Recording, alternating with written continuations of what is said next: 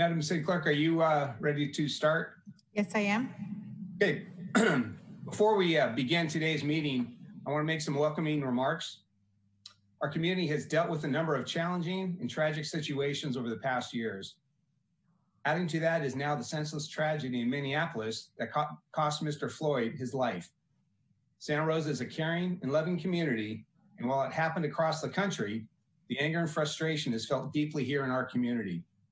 I, along with other Santa Rosans, are struggling with what we saw and how we how to express our anger and grief.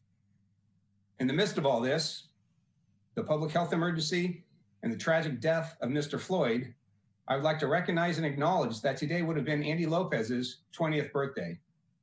The tragedy of Andy's death was a turning point for our community in many ways. Gathering together to voice our concerns could be a unifying action. We all must continue to fight for equity and equality for all. For some, that takes the form of protest. To peacefully protest is an absolute and fundamental right and one that we acknowledge and will defend. However, what we cannot tolerate is when that right turns into unlawful acts of violence and destruction in our community. Thank you to those in our community who recognized the curfew last night and stayed home. It was very helpful for our public safety officers. We encourage you to do so again tonight. Remember, we're all in this together. So now I'm going to ask the city clerk to do a roll call and each council member, you'll be able to uh, make any comments you would like during our uh, council members reports. So Madam City Clerk, could we do a roll call, please? Yes, Council Member Dowd.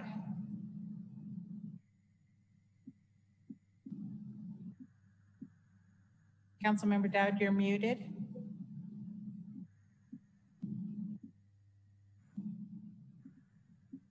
I'll move on. Council Member Tibbetts. Here. Councilmember Sawyer, Here, and I, and I believe that the mayor voiced my sentiments exactly. Councilmember Rogers, Here. Councilmember Olivares, Here. Vice Mayor Fleming, Here. Mayor Schwedhelm. Here. Councilmember Dowd, have you been able to unmute yourself?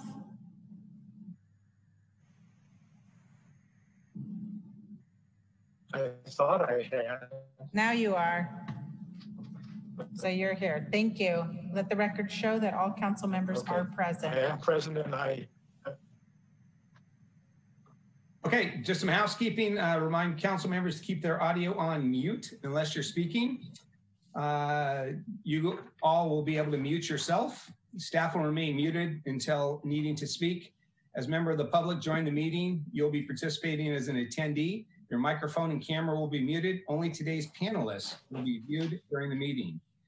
If you are calling in from a telephone and choose to speak during the public comment portion of today's agenda for privacy concerns, the host will be renaming your viewable phone number to citizen in the last four digits of your phone number. Uh, Madam City Clerk, could you explain how public comments will be heard at today's meeting? Yes, as each agenda item is presented, the mayor will ask the council for comments and then open it up for public comment. The host in Zoom will be lowering all hands until public comment is open for that agenda item.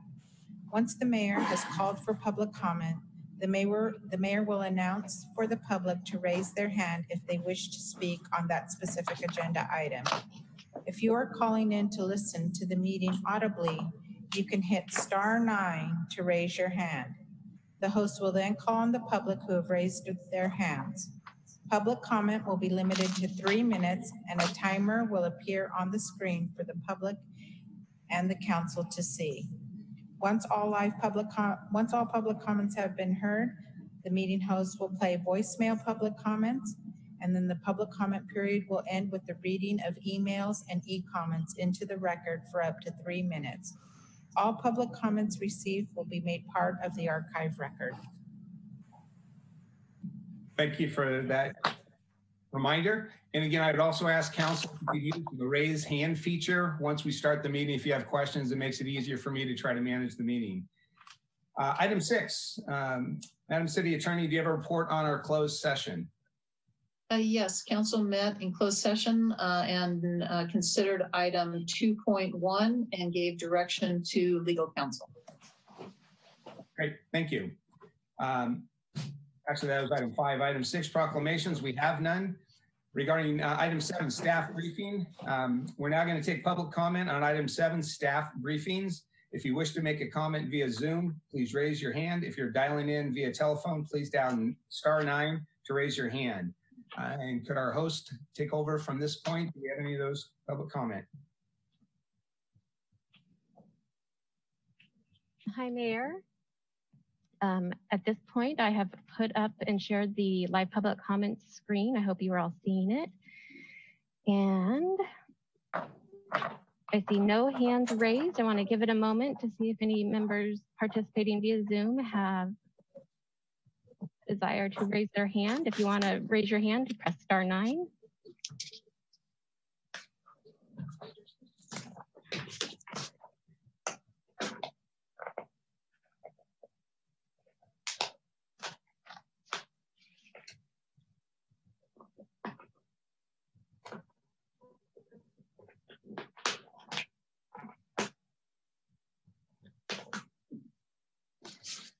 All right, the first public comment on item seven will be from Janessa Lara. Janessa, I have enabled your speaking permissions. Can you please unmute your microphone?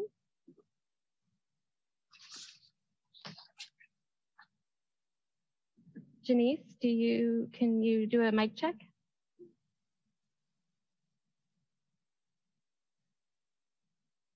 Can you hear me? I can hear you now. Do you see the timer on your screen, Janice? Yeah. Okay, your time be- begins now for item seven, uh, staff briefings. Actually, sorry, I have a question. Um, when does like the non comments for non things on the agenda happen?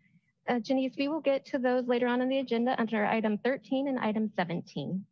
And at that Okay. point, the mayor will call for any public comments on item 17 or 13. Um, and at that point, you can raise your hand. Okay, then I decline and I'll wait till then. Thank you. And Janice, that item 13 will not start before five o'clock.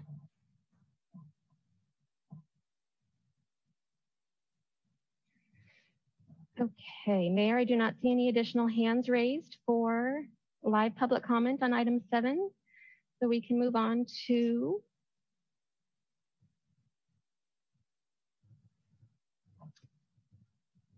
we can move on to the recorded public comment.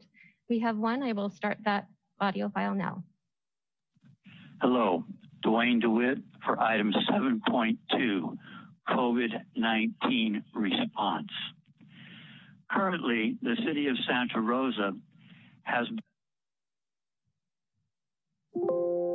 been almost hiding behind COVID to keep information from the public and not letting the public participate in the decision-making processes of the city.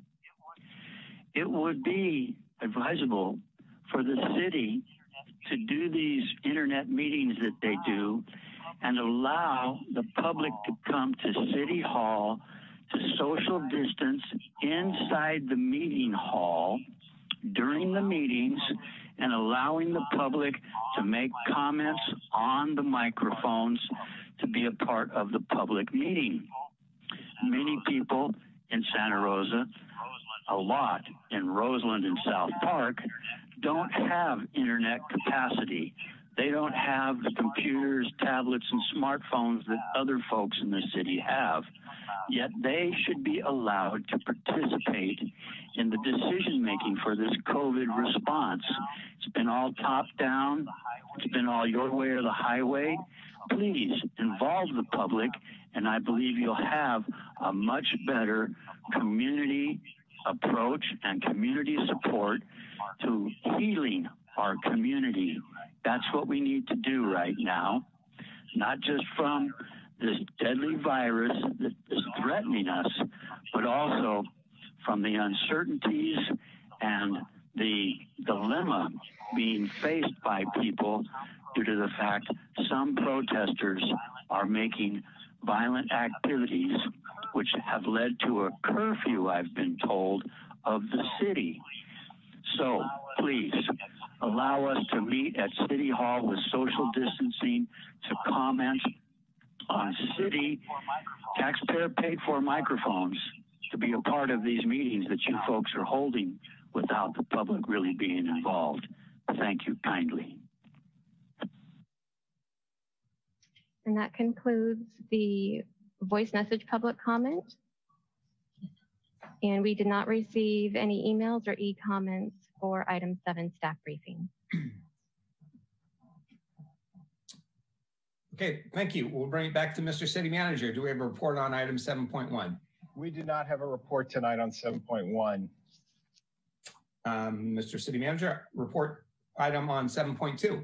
Yes, we do have a report on 7.2. There will be three distinct reports, and the first report will be by Raisa De La Rosa on the Economic Recovery Task Force and key initiatives. Good afternoon, Mayor Schwedhelm and members of the council. Uh, because I haven't given you an update before, I'm just going to uh, give you a very quick overview of the Economic Recovery Task Force, which uh, has council representation by Vice Mayor Fleming and Council Member Sawyer. So the goal of the task force is to work creatively and collaboratively, and really most of all, as quickly as we're able toward uh, economic stability and, and obviously economic recovery. Uh, while we're working on immediate needs to get us through the current situation, we're also looking at mid and long-term actions and opportunities that will help strengthen Santa Rosa's long-term economic resiliency. So each week, our discussions center on two to three agenda items uh, that we keep a running list of ideas and actions so we can uh, continue to track uh, the various efforts that, that rise and fall on that list. It is, I have to say, a, a pretty dynamic agenda. We currently have 30 items on that list that we've bucketed in six ways, priorities that we're currently working on, and I'll, I'll talk about that in just a second.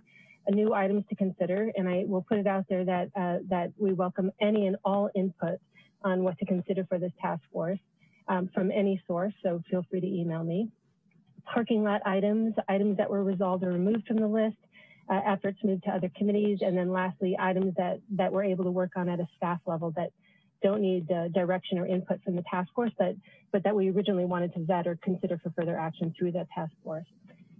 So focusing on our current efforts, I'll just highlight a few things. Uh, the first, and I think probably the most public right now, is that we just finalized and we're able to roll out our out, outdoor seating program that has uh, three basic elements to it to allow uh, use of, of, public space as well as uh, expansion of private outdoor areas uh, to allow restaurants to, to uh, uh, safely and, and responsibly reopen within the confines of the county health order. So starting last Friday, we scrambled to, to find fast administrative policy fixes to allow um, outdoor seating options for temporary sidewalk seating um, or expanding the footprint of uh, anybody who already has an existing uh, patio seating. And similarly, at the same time, we finalized a parklet pilot program where restaurants can use curbside parking areas on public streets, assuming the street uh, meets certain criteria or in uh, private parking lots as well. Again, both temporary sidewalk and parklet options are available immediately um, they're available citywide uh, through a very quick and easy uh, online application. And we'll, that application, I think, is, is uh, should be available uh, this afternoon. And hopefully you're seeing these pop up around town. We're responding as people are calling in. The third element uh, to that is the temporary closure and programming of 4th Street between B and E streets. And I, I, just have to say, closing streets is a far more nuanced and complicated thing to do than just placing barricades up and closing access. So I, I just want to thank council and the public uh, in advance for your patience as we work through all the considerations to make this uh, successful, but really, uh, moreover, a, a safe program for our businesses and our residents. So we're calling this element Open and Out, and it's a collaboration between the city, Santa Rosa Metro Chamber, Downtown Action Organization, uh, Creative Sonoma, and, and other area businesses and sponsors, particularly the engine is red. We anticipate um, that Open and Out program to start on June 26th and run through October 15th. So depending on its success and, and other considerations, we're flexible on, on the dates. Um, fire and life safety access will be maintained uh, throughout the area. And then um, I think this is important. We've gotten a lot of questions about this. The north-south streets will also uh, be open to traffic, including Hinton and Exchange.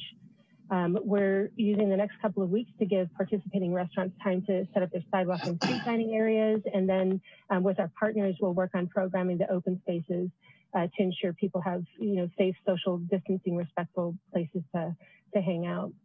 Um, I do want to say that some of these elements include um, a uh, art from local artists from a $50,000 NEA grant um, that we got uh, courtesy of Creative Sonoma in collaboration with uh, Tara Thompson and uh, Jessica in our own public art program. So uh, we'll see uh, art elements out there as well as um, additional seating options. And um, again, with the, D the Downtown Action Organization and Street Plus um, and the Chamber, we're working on all of the other pieces to keeping it safe and secure. Uh, other things we're working on or, or, discussed in our most recent Economic Recovery Task Force, task force meeting include uh, analyzing the um, paid sick leave gap question and the draft ordinance that was submitted by labor to the city and the county. Uh, we looked at childcare needs, focusing our discussion on identifying local actions or state level advocacy needs to address access and affordability issues. Um, again, something that we've heard from our community that directly affects businesses. Um, we've discussed city leases and new opportunities we may be able to pursue related to select city sites. Uh, and um, we've recently launched our Latinx Business Recovery and Latinx Communication Program to identify and fill gaps in how information and services are reaching our Latino population and um, particularly that, the core business center in, in Roseland. And then the last thing I um, wanted to highlight uh, today for you is um, what I'll call our community commerce site. Uh, this is an offshoot of our outthere.sr.com site. Um, but, you know, we're seeing a lot of other cities sort of list alphabetically stores that are open or doing commerce within the city. Um, and um, we wanted to do something that was a little bit more unique to Santa Rosa, but also a little bit more usable. Uh, so we're capitalizing on uh, the good following that we have through the um, Out There SR program, and we've created a, a, a new commerce site called uh, Inside Out There, and you can find that at insideoutthere.com. And what this is is more of a, a, shop neighborly kind of online marketplace that connects people uh, virtually to the experience of being in Santa Rosa, being uh, shopping through our businesses directly, um, so that they can shop and order online there. Uh, and it's broken down uh, by eat, drink, market, so really merchants, uh, makers, uh, our physical stores, art and music, and um, it's a soft launch now. Um, so uh, it'll build up over time as we get feedback from our local businesses.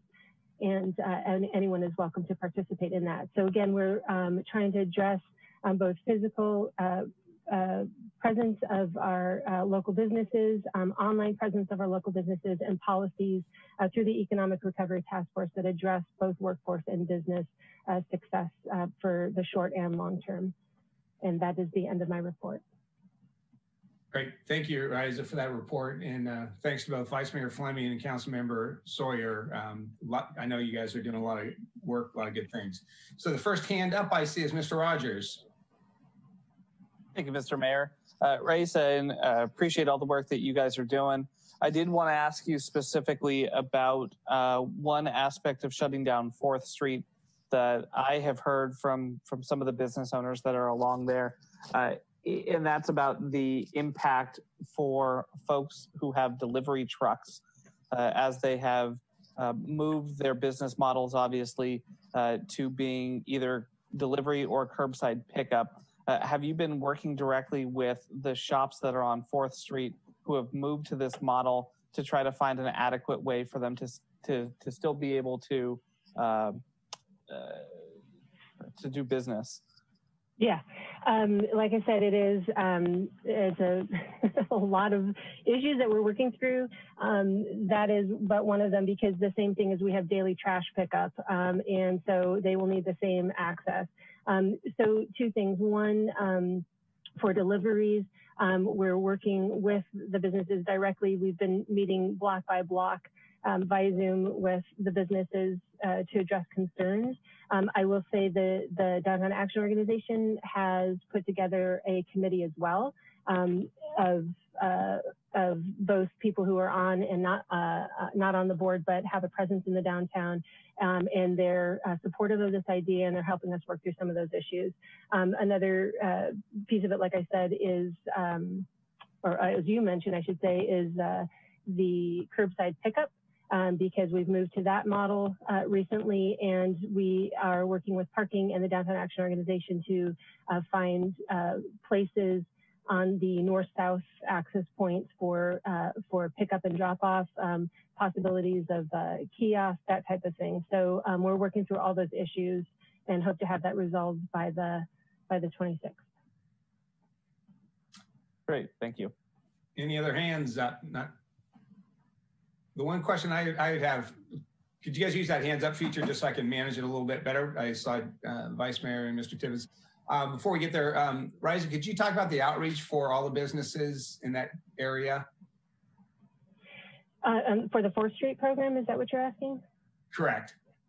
Yeah, so um, you know we've we've done a number of things. One uh, is um, well, originally we've we've uh, brought it up through the Downtown Action Organization um, through their regular board meeting, and then we've had subsequent uh, uh, meetings one-on-one. Um, the Downtown Action Organization has set up a um, committee of themselves so that, uh, on their own. So they've been um, having ongoing meetings and outreach that way.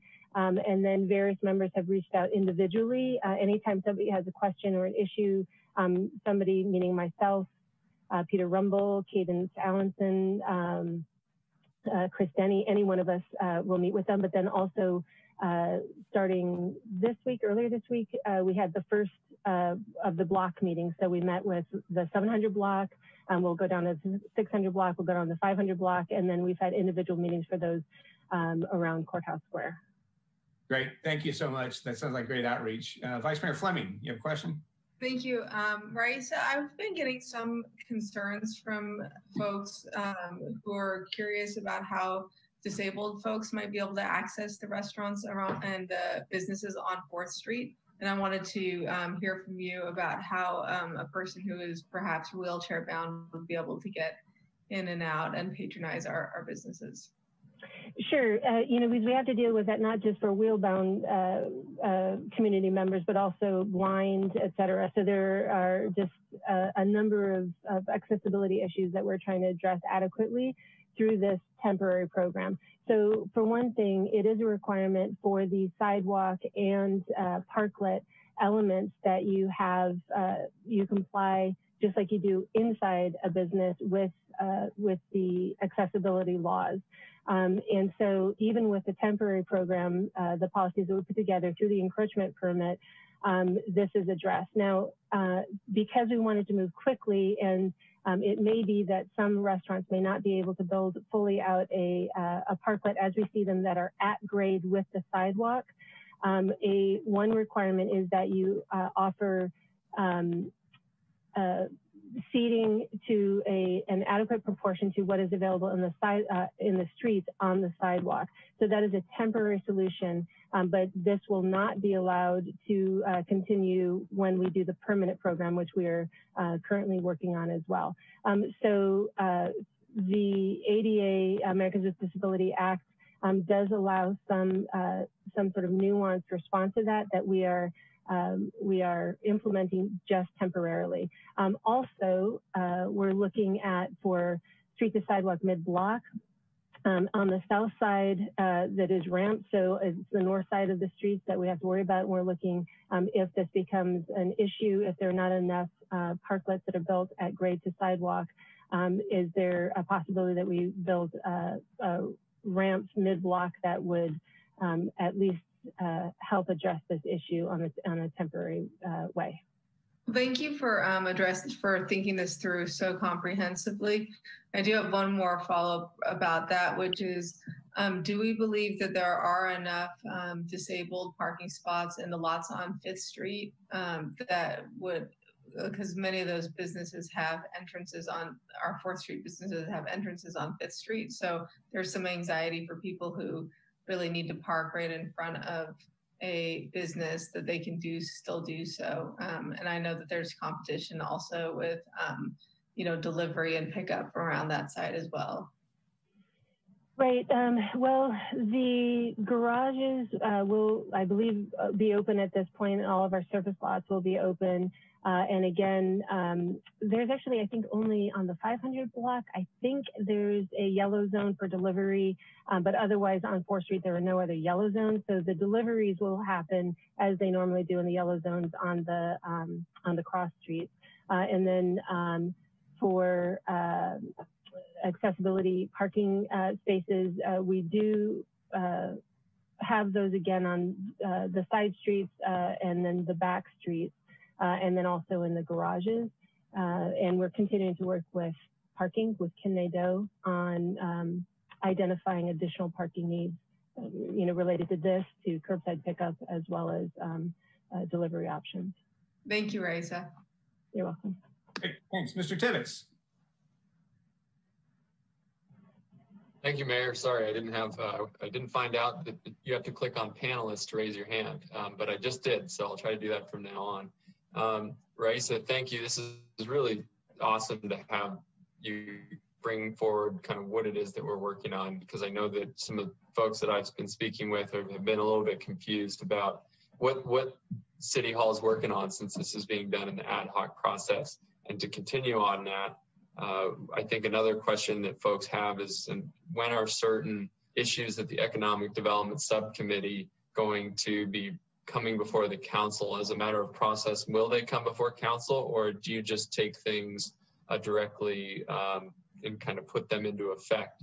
Uh, and if it is a matter of process where it comes through the council, is there is this currently on the mayor's uh, agenda? I know that he there's that running list of things, and when they come to the city council, that people or I can point people to in the community who have questions about things like sick leave, for example. Right. So not everything. Um, we're you know in order to move quickly, we're trying to identify. Uh, the things that we can move through uh, an administrative process that we're trying to do that. So for example, um, parklets, uh, the parklet pilot program and the um, sidewalks um, we did that through a zoning code interpretation um, versus um, having to take that through council for a zoning code addition. Um, that will come later um, when we take those interpretations and actually make them into full policy. Um, okay, so that's one bucket. other things like, for example, the FFCRA, the paid sick leave gap, we are discussing that. Um, it is also in front of the uh, county. Um, so we're uh, looking to see sort of regionally um, uh, what some of the issues are. Uh, and so we, we, we brought it up a couple of weeks ago, brought it up again this past uh, Friday. Um, and then we'll review again once we understand too what the um, county's position is going to be on it. That would be a policy and ordinance that would have to go to council. Um, and so things like that fall into the council bucket. Um, and um, once we get an understanding, say probably this Friday or next Friday, um, that this is something that that is the city wants to or the task force recommends pursuing, it would then be agendized. Other things such as the uh, commercial tenant lease release. So that was on our to-do list, but um, we uh, remove that from our list because it was decided by council to run that um, not through the task force and then to council, but to uh, do it through a full council process. And so, you know, things kind of fall into different buckets that way. But if it's policy related and we can't do it administratively, then absolutely it is um, it is put into a staff report and put through uh, through the normal council process. So if, if we do, if the council, if, if a few of us, for example, were interested in discussing something publicly because maybe there's a high level of public input, uh, is the process to use our council member comment agenda setting process, or should it be to reach out to you or Sean or David about pulling something that way? Because I'm I'm in that that interesting space where I, I definitely want to support the ad hocs moving forward. I had a conversation with members of staff who expressed that this was really important to be able to respond quickly, and I agree with that. But I do think that there is going to be a certain point at which um, the public's going to want to weigh in pretty extensively. And that's not meant to be a, a negative comment or a dig, because I know that you're out there talking to folks, as many people that come come up on your mind, and I think that's fantastic. but I'm just, you know, trying to understand how do we have a public conversation about it if we need to? Yeah, no, it's a fair question. Um, you know, the, the easiest thing to do is to reach out to any one of us, either to the uh, city manager, assistant city managers, or to myself. We'll, we're uh, trying to make ourselves available um, as best we can and be certainly as responsive uh, as quickly as we can to, to council, um, but as well as to our residents. So, um, for example, uh, with the, uh, the paid sick leave uh, question, um, you know, it's, it's you know quick is one thing but public is the other and we recognize the need for both and so we're trying to be as um, diligent as we can to reach out as broadly as we can on things like that so that is a big policy issue that affects both um, workforce and uh, employers employees and employers um, so we did meet for example with um, with labor organizations who put together a, a model ordinance um, to understand where that is. Um, and then now um, we're looking to uh, to understand what the gap in Santa Rosa is. We understand a little bit more, perhaps where it is in the county. Um, so that's some of the public input. Um, so there's two things. I, I, think, honestly, I think it moves quickly if you go through task force. That's what we saw through the um, 2017 fire recovery. We were able to move quickly in an ad hoc fashion and then move things up to council um, more quickly than trying to do it by committee. Um, but um, there are two pathways, uh, and if you want to pull it for a broader discussion or um, to have uh, a study session, for example, this is identified as potentially a good study session, then um, we can certainly do that. Okay. I, am I'm, I'm not sure if that answers your question. Yeah, it did. I think it, what, you, what, I'm hearing you say is if if um, if we want to to, to have a, a, study session or a council discussion in the public forum, then uh, we should start off by reaching out to you or Sean. And if that answer is unsatisfactory, take it to the agenda setting process. Yeah, and um, I, will tell you that um, if you have anybody who has a question, I mean, I, you know, it, we spend a lot of time on the phone with a lot of people, individuals, groups, um, whatever, I, I, I encourage you to forward people to any one of us, to particularly myself, because, you know, again, I can hear it, I can address it, um, I can put it onto our agenda, um, because even a study session takes a lot of staff time to understand, under, understand the background. I'd have to do the same amount of research to get it to a study session as I am doing for the task force to be able to present to council something a little bit more complete. Okay, thanks again. I and as I said, I from everything I, I've been hearing, you and David have been out there and doing a great job of, of talking to stakeholders. So what I say right now is no reflection of the work that you've been doing. It seems to be great. Uh, just trying to understand because I do suspect there will be a point at which the public wants to uh, see us doing things in the public forum again. Um, so thanks for uh, clarifying. Sure. If I can ask, um, Madam City Attorney, because I heard Raissa talk about staff. Because there's only two council members, any council member could talk to someone on that task force, in this case, either the vice mayor or council member Sawyer to hear their thoughts about the prioritization and where it fits within the workload of this task force. Is that accurate? No, we have to be careful that uh, that there are not uh, more than a quorum that are that they're not a quorum that is discussing those issues. So really, uh, the better practice is that no uh, communication should come formally from the subcommittee members. Uh, otherwise, you run the risk of you need to know only one other person could talk to them, and and they might not they might not even realize that someone else had talked to the other member. So better to have it be a formal line of communication. Great, thank you for that clarification. And. Rise, I do have one question about um, some of the ABC laws that I, I, heard were involved here. Could you explain how that works if we're expanding onto the sidewalks and public space?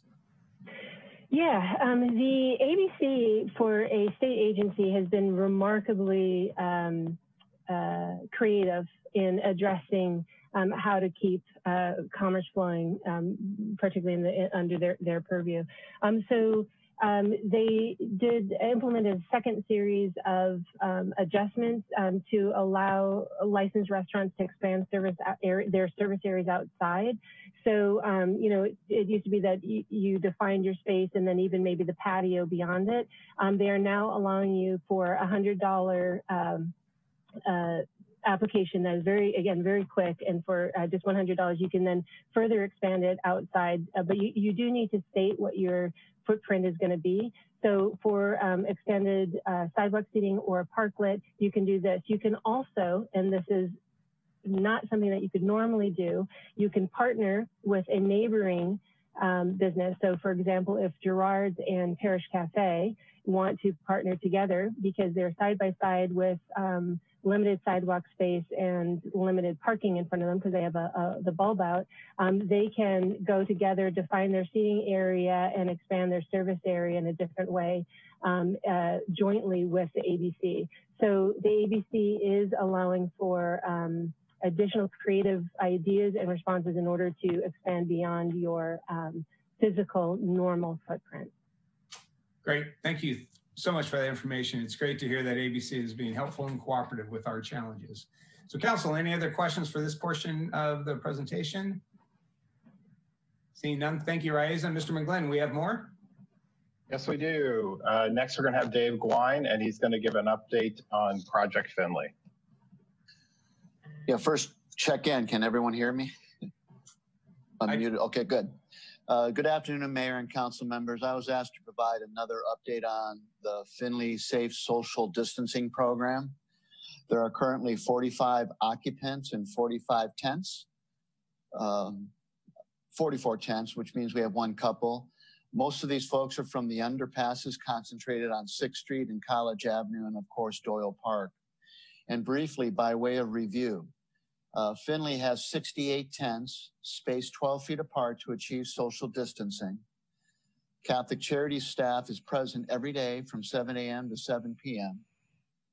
Security is on site 24 7, and there is an 8 p.m. curfew. Some examples of the services provided include three meals per day, there's showers, there's restrooms, hand washing stations, there's space to meet guests there's a smoking area and created a shaded cooling area with misters knowing that it was going to be hot last week. The site became available on May 18th, so we are now in our third week of operation. And that is as brief as a staff report I could provide, but I'm happy to respond to any questions. Great. Council, any questions on this? Side one, Mr. Gouin, after our um, three hour community meeting where we explained the project. What has been the community feedback and or comments about the operation since May 18th? Yeah. Initially, Mayor, there was a lot of apprehension. There was very few specific complaints. Our frequently asked questions have now exceeded 40.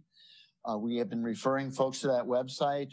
Uh, we haven't been getting a lot of feedback since.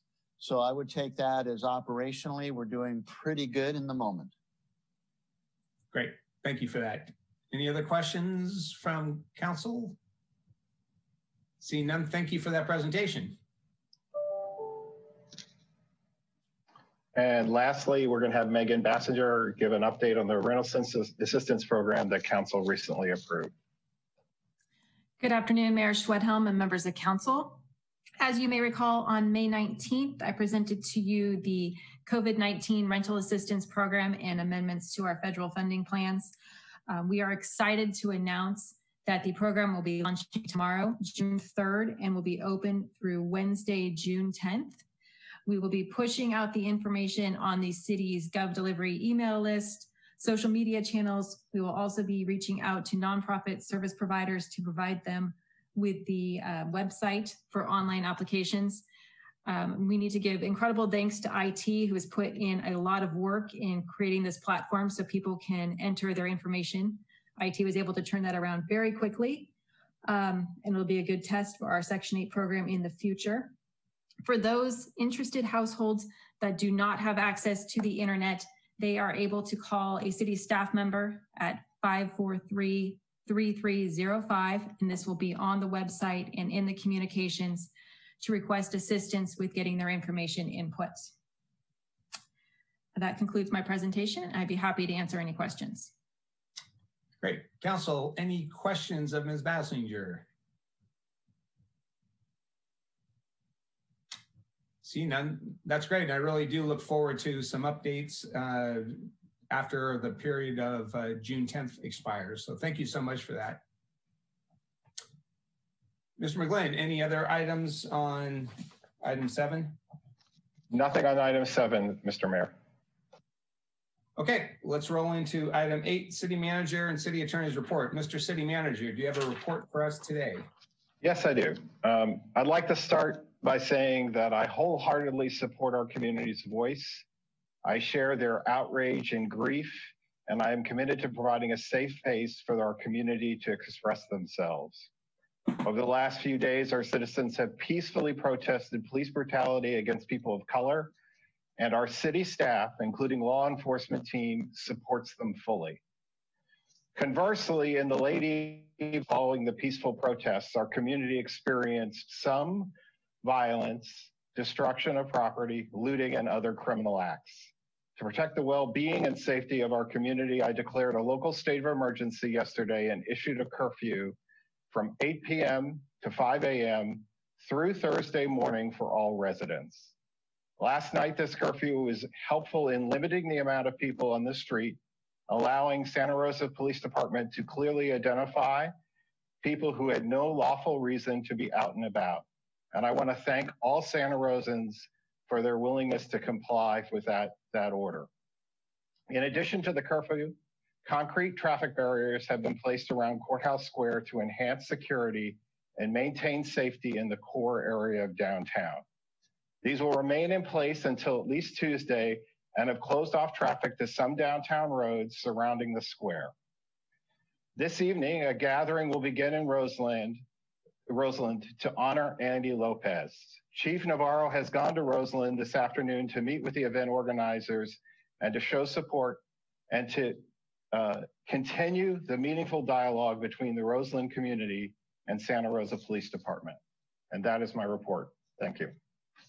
Thank you. Council, any questions for Mr. City Manager?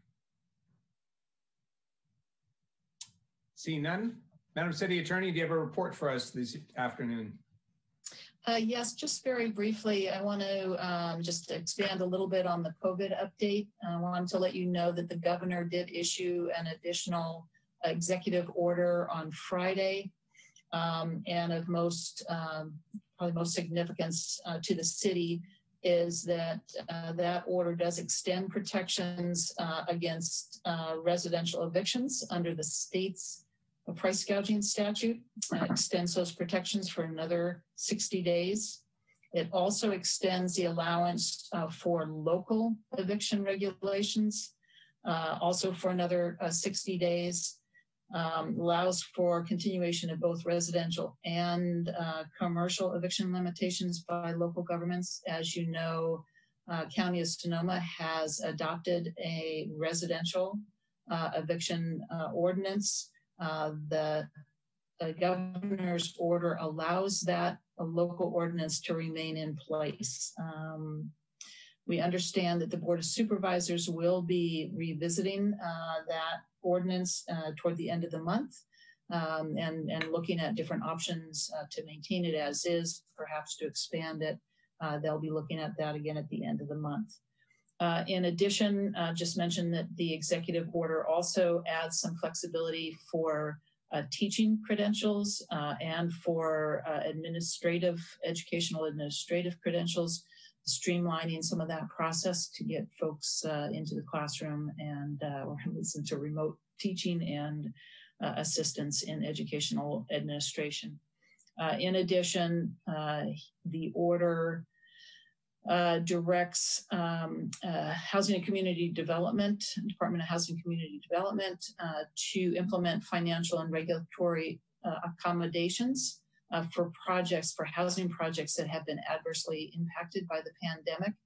Uh, and that includes um, looking at provisions to ease up um, Emergency Solutions Grant Program and also the CDBG, the Community Development Block Grant Program, uh, again, to uh, allow for some flexibility to address those that are uh, significantly impacted by COVID. Uh, and finally, the um, executive order also uh, adds some measures to facilitate provision of childcare for essential service workers. Uh, those are the primary uh, points of the new order and just want to keep you updated. Happy to answer any questions. Great. Council, any questions from our city attorney's report? Mr. Tibbetts. Thank you, Mayor. Um, Sue, I, I, think this is in line with um, what you just reported, but uh, under the, do we have any information from the CARES Act about municipalities being included in, as part of that relief effort? I, am hearing that the county uh, counties are believing that they're going to get some relief, and if they do, funding would pass through the counties to the cities. Have we? Do we have any information on that? So, um, I, oh, go ahead. So I can, I can jump in here a little bit uh, uh, to assist in the question. I think there's the for the CARES Act there is a um, $450 million that's going to be avail available in the governor's uh, May revise. Um, the question is how that money is being divided. Uh, the initial proposal is to send, as as you said, council member, um, to communities over um, uh, 300,000 pop between 300 and 500,000 individuals, uh, half of that 450 million dollars. Um, that makes up 2 million of the state's popu overall population. Um, the the remainder uh, uh, would be for all communities under $300,000, which is $22 million, 22 million people in the state's population. Uh, right now, I've been working with the uh, mayor and the vice mayor and Councilmember Rogers as part of uh, his role with the league's um, uh, legislative committee to um, put forward a request that that not be the formula that is assigned. But you, but you are right. Uh, for the communities under 300,000, the initial proposal was to send that money to the counties. What I will say is CSAC itself, the county's lobbying organization, has asked that they not, the counties not be the recipient of the city shares and that the governor figure out a way to actually fund that money directly to municipalities. So we're still actively advocating about uh, the distribution of the $450 million. And if uh, Councilmember Rogers, uh, the mayor or the vice mayor want to add anything, uh, they can at this point. I don't have anything to add. You basically summarized it. I, I will say that I have been talking with the other mayor, mayor, mayors of Sonoma County, and we all have that same interest that the split that uh, the city managers has shared just does not seem logical or fair at this point. So um, many letters are en route to Sacramento and Washington. Mr. Rogers or Vice Mayor? Thanks, thanks guys. Thanks, Sean. Nothing else? Okay. Any other questions for our city attorney? Seeing none. Item nine, uh, any statements of abstention by council members on tonight's agenda?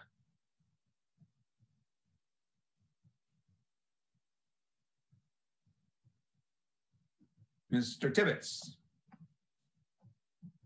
12.7, I'll be abstaining.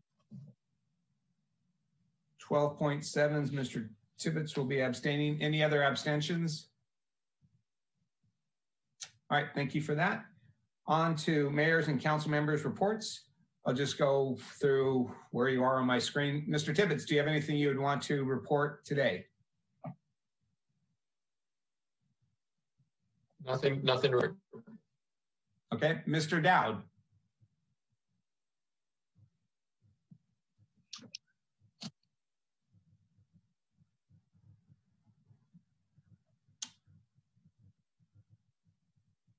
Mr. Dowd, I still see you on mute. Did you have anything you wanted to report?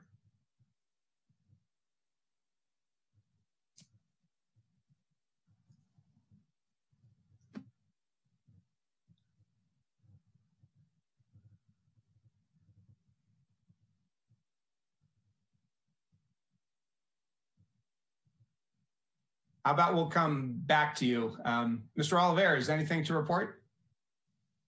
Thank you, Mayor. I just wanted to echo your comments from earlier in the meeting related to the issues going on in our community and across the country.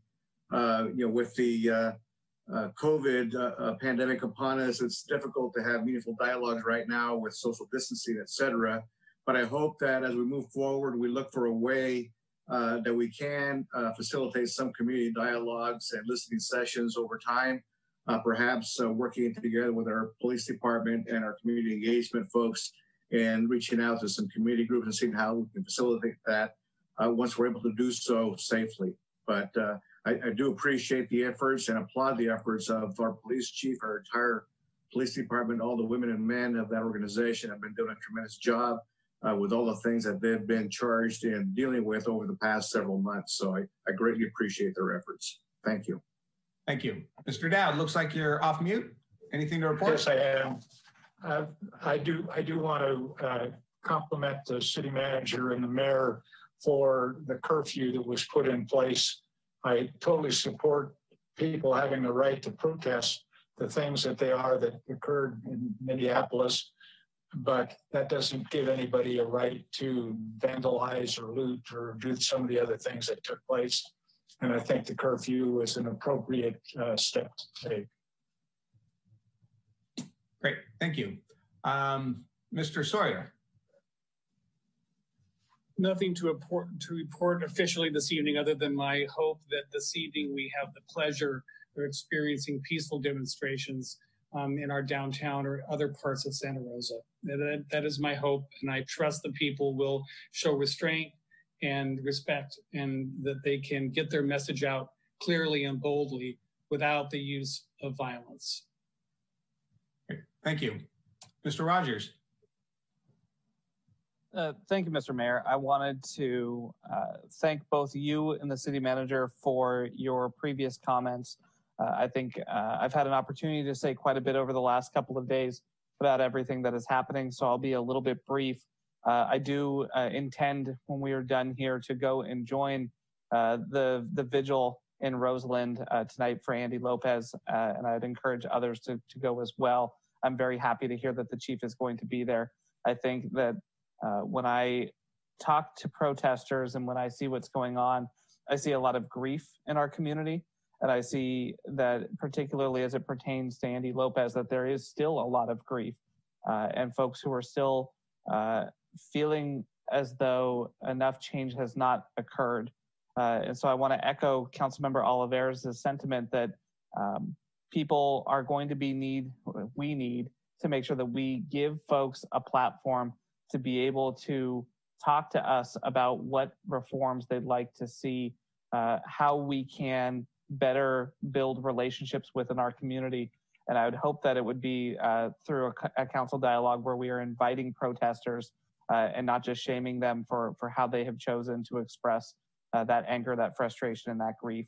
Um, and so I'd like to see a, a, study session in the future on that as well, where folks can bring to us what their ideas are for helping to, to bridge that divide. And, in particular, as it pertains to our police department. Uh, and, and obviously, uh, we're not Minneapolis. Uh, this is being sparked by an incident from Minneapolis, but that also is a systemic failure as well uh, that many have been dealing with for a long time. And so it's not enough for us to just say that didn't happen here. I think we really need to listen.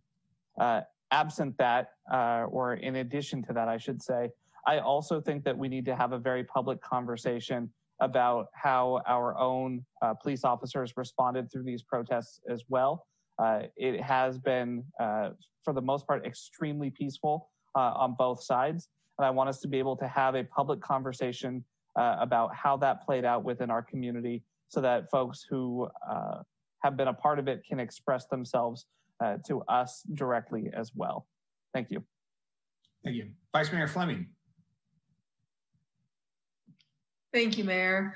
And uh, I echo your sentiments and a lot of what Councilmember Olivares has said already. I also want to say that when I listen to people who are experiencing the pain and the anger that we all share over the murder of George Floyd. And it was a murder, if we're honest um, with ourselves. What I hear from people is that great frustration when we say, well, we respect your right to protest. We we condemn any violence downtown or any, you know, property damage. And while of course it's true that we condemn any lawless behavior, that's really hardly the point. I think the point here is that we've had 400 years of intense violence against African Americans and in specific African American men. And like Council Member Rogers said, Santa Rosa is not off the hook here. I mean, we look around, and I've been talking about this ever since I got on council. We have a significant problem with diversity and inclusion in our own ranks, and I don't believe it's because of any ill will on behalf of any any person that I've had the pleasure of working with, but it has to do with significant unconscious bias and um, well-meaning well-meaning people doing what we're used to doing. And so, to that end, you know, I agree that we need to have real listening sessions, but we also need to have a plan for how are we going to get people of color and people with different backgrounds and people who are not typically represented both in our staff and in our council to be represented. And so, um, you know, my heart goes out to you and anybody who's listening know that that I stand with you and I see your pain and we have to figure out how to make this end and that words are really not enough. Thank you, Mr. Mayor. Thank you. And, and, I will just echo many of the comments that my colleagues have said, you know, specifically for the police department, my relationship and Mr. Olivares has also experienced this, where our organization has been known for hiring the best, giving the best training and holding them accountable, but it's not enough. We can't just say, well, that's Minneapolis, it's different here. We need to continue to have this community conversation. I know I've spoken with many of my colleagues, given updates that I received from the city manager. and that's what I've been doing uh, for the last week and a half, talking to community members. How do we have that conversation? Um, just what everything was discussed here. So I'm exploring that. You know, one of the questions I like asking, if you're a mayor, what would you do? And these are from some of those unrepresented uh, folks in our community that the vice mayor is just referencing. So um, it's a lot of feedback. I really encourage, and I know all of you are doing some of the same things. What that format looks like given this age of COVID 19. Don't have the answers to that yet, but I really want all of the listeners in our community to know we are interested in having this conversation and we're actively exploring these options. The city manager and I have had these conversations. and it's um, it's something that is not going to go away. We will have these conversations. I wish I could give you the date, what it's going to look like. Um, one of the other things too, I know, Mr. City Manager, one of the other COVID-19 task forces that you arranged were uh, was the community inclusion. And I know that task group that I believe Mr. Olivares and Mr. Tibbetts, you're part of. I know you're touching on some of these things. So I'm also anxious to hear from you going through staff about what some of those priorities are and understanding how can we have this ongoing dialogue because it can't be one and done. We're always seeking to improve. We're always seeking to improve. So I also also want to make comment um, last week, which seemed about about a month ago. Uh, Mr. Sawyer and I were able to take a uh, visit at Doyle Park, and I want to express my sincere gratitude for some of the efforts that the city has done to make that an enjoyable park for all. The efforts that we heard from Mr. Gouin about our safe distancing um, site at Finley, I think is paying the dividends. Uh, it, it's finally nice to see some positive feedback that you know the city has been working on this. All these things don't happen overnight. So, I'm, Mr. McGlynn, I'm really impressed with the staff we're staying on it, and I know these conversations are continuously ongoing. Uh, so, when you see the results of those, and I know we, that effort has been. Uh,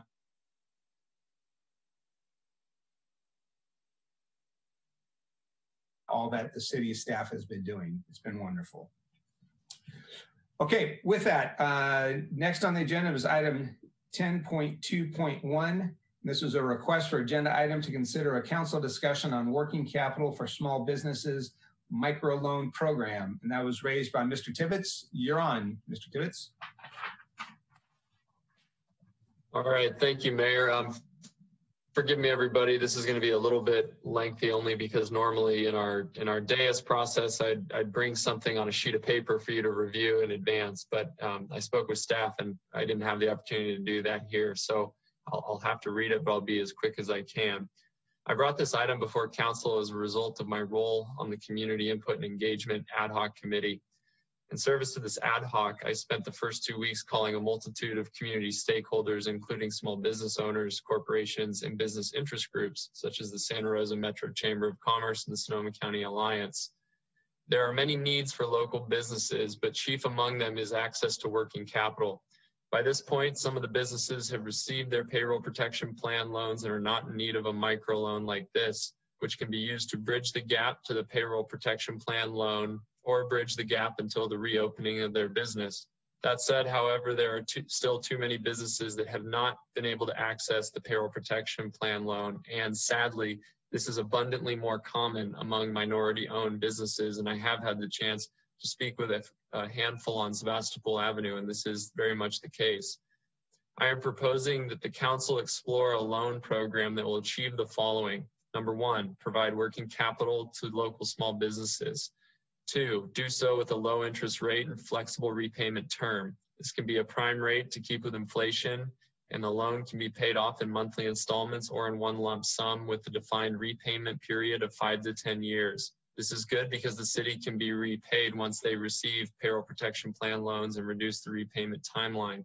Three, the loans will have some interest, which means the city will complete this program with the possibility of realizing financial gain or be close to net neutral leaving a negligible, if not positive impact on the city's budget.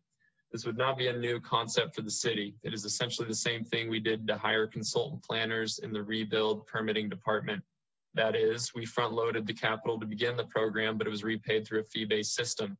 The city actually realized a profit from this effort in its first wave. Four, the, the first amount the city can issue is a smaller amount, such as $500,000. And this is just a number. The council would obviously pick this um, but such as $500,000 to test the appetite among small business owners. If there's high demand, council can reevaluate its fiscal standing and choose to issue more funds down the road. Council would choose that initial loan amount. The city council can choose to house this program in city hall with staff or reach out to local lenders to see if there's any interest in housing this program. I want the council to know that I've investigated the resources the city has been putting out in its emails, such as the Small Business Development Center resources, which is more of a broker or advisor that helps local businesses apply for payroll protection plan loans um, and access other larger loans, but no micro loans really exist. Similarly, while there are personal loans under $50,000, the interest rates are commonly above 10% APR conventional $10,000 personal loan at 11.99% over a 10 year term would cost the borrower $17,210. That same loan with a 1.9 would cost 11,036. So what I've determined is there is a need for low interest micro loan. Um, I'll just jump down here and say that staff has currently suggested, I, I uh, proposed to staff uh, some suggested program guidelines, but my hope is that staff can bring this back to the council for the council to consider and make stronger by including its own comments and suggestions. And finally, while I recognize times are tight for the city, we must recognize that we currently have a 1.1 million reserve, the, the ability to not fill vacant positions to add an additional roughly 5 million to that reserve and there was a strong possibility that we receive 90 plus million this summer from the settlement. Should this all occur, even under the worst case budget scenario provided by management partners, the city of Santa Rosa is expected to have 25 to 30 million dollar budget surplus in the next fiscal year. So I ask the council to strongly consider this likelihood and consider taking a small risk our local business owners are out there making every day. The city cannot afford to lose its small businesses during COVID, fires, protests, and persistent homelessness. With a budget as large as ours, I hope we can take the time, effort, and funds to invest in our local businesses who have invested in Santa Rosa for years. And I thank you all for uh, uh, the time to read that. Thank you, Mr. Tibbetts. Mr. Rogers, you seconded the motion. Is there anything you would like to add? No, I'm good. Thanks, Mayor. Okay, uh, Council, any questions?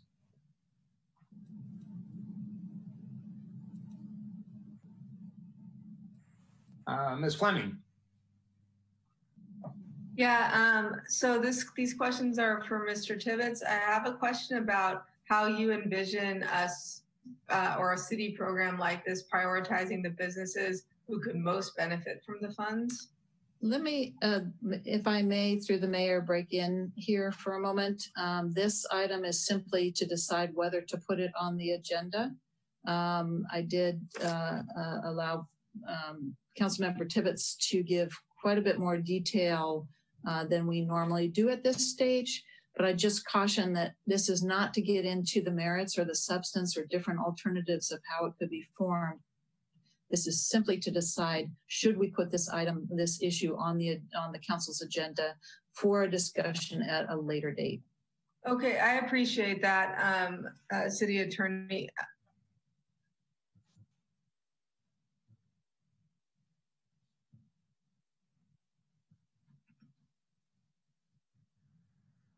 Um,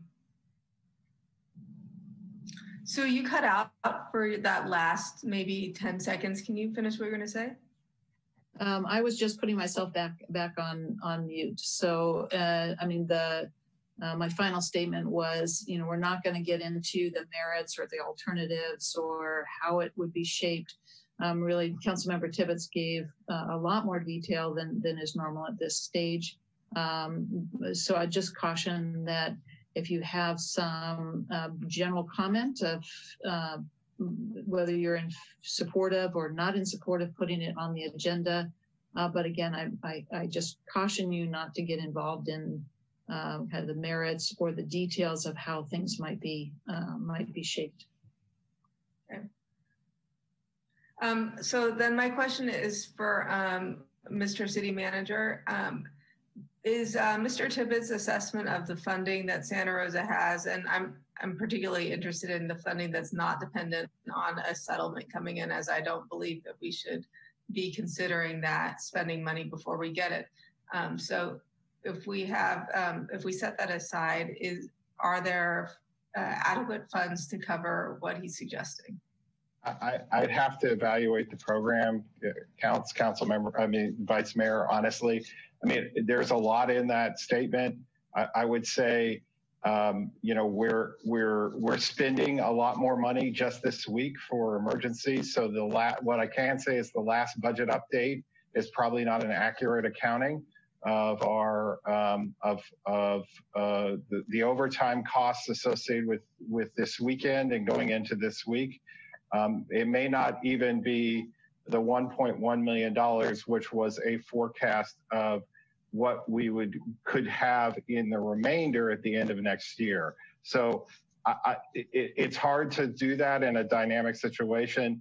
I would have to sit down, look at the look at the proposal, go through an evaluative process, and bring that back for future conversation. Thank you very much. Mr. Sawyer. Thank you, Mayor. Um, Mr. Tibbetts mentioned the a, a, request that staff come back potentially with some opinions on the on their on the nature or the the expansion of a of a program like that. And I'm concerned about bandwidth. Um, unfortunately, it takes analysis to determine whether or not you to, to, determine how much time it's going to take. And of course, that even affects your bandwidth as well. Um, is there a way for you, Mr. City Manager, to um, uh, to identify a comfort level with how much with, with your ability, with everything else that's going on, to come back with that kind of analysis? Uh, what we had um, last year agreed upon as a process is we would be given the task. I would take um, some time with staff to assess where we could bring that forward in a in a reasonable amount of time. And then council had requested the ability to elevate that. We would also have to depress other work, obviously. But the process from here is the timing. I, I, I you know, without the assignment, I can't project the timing um, right now. Thank you. Mr. Tibbetts.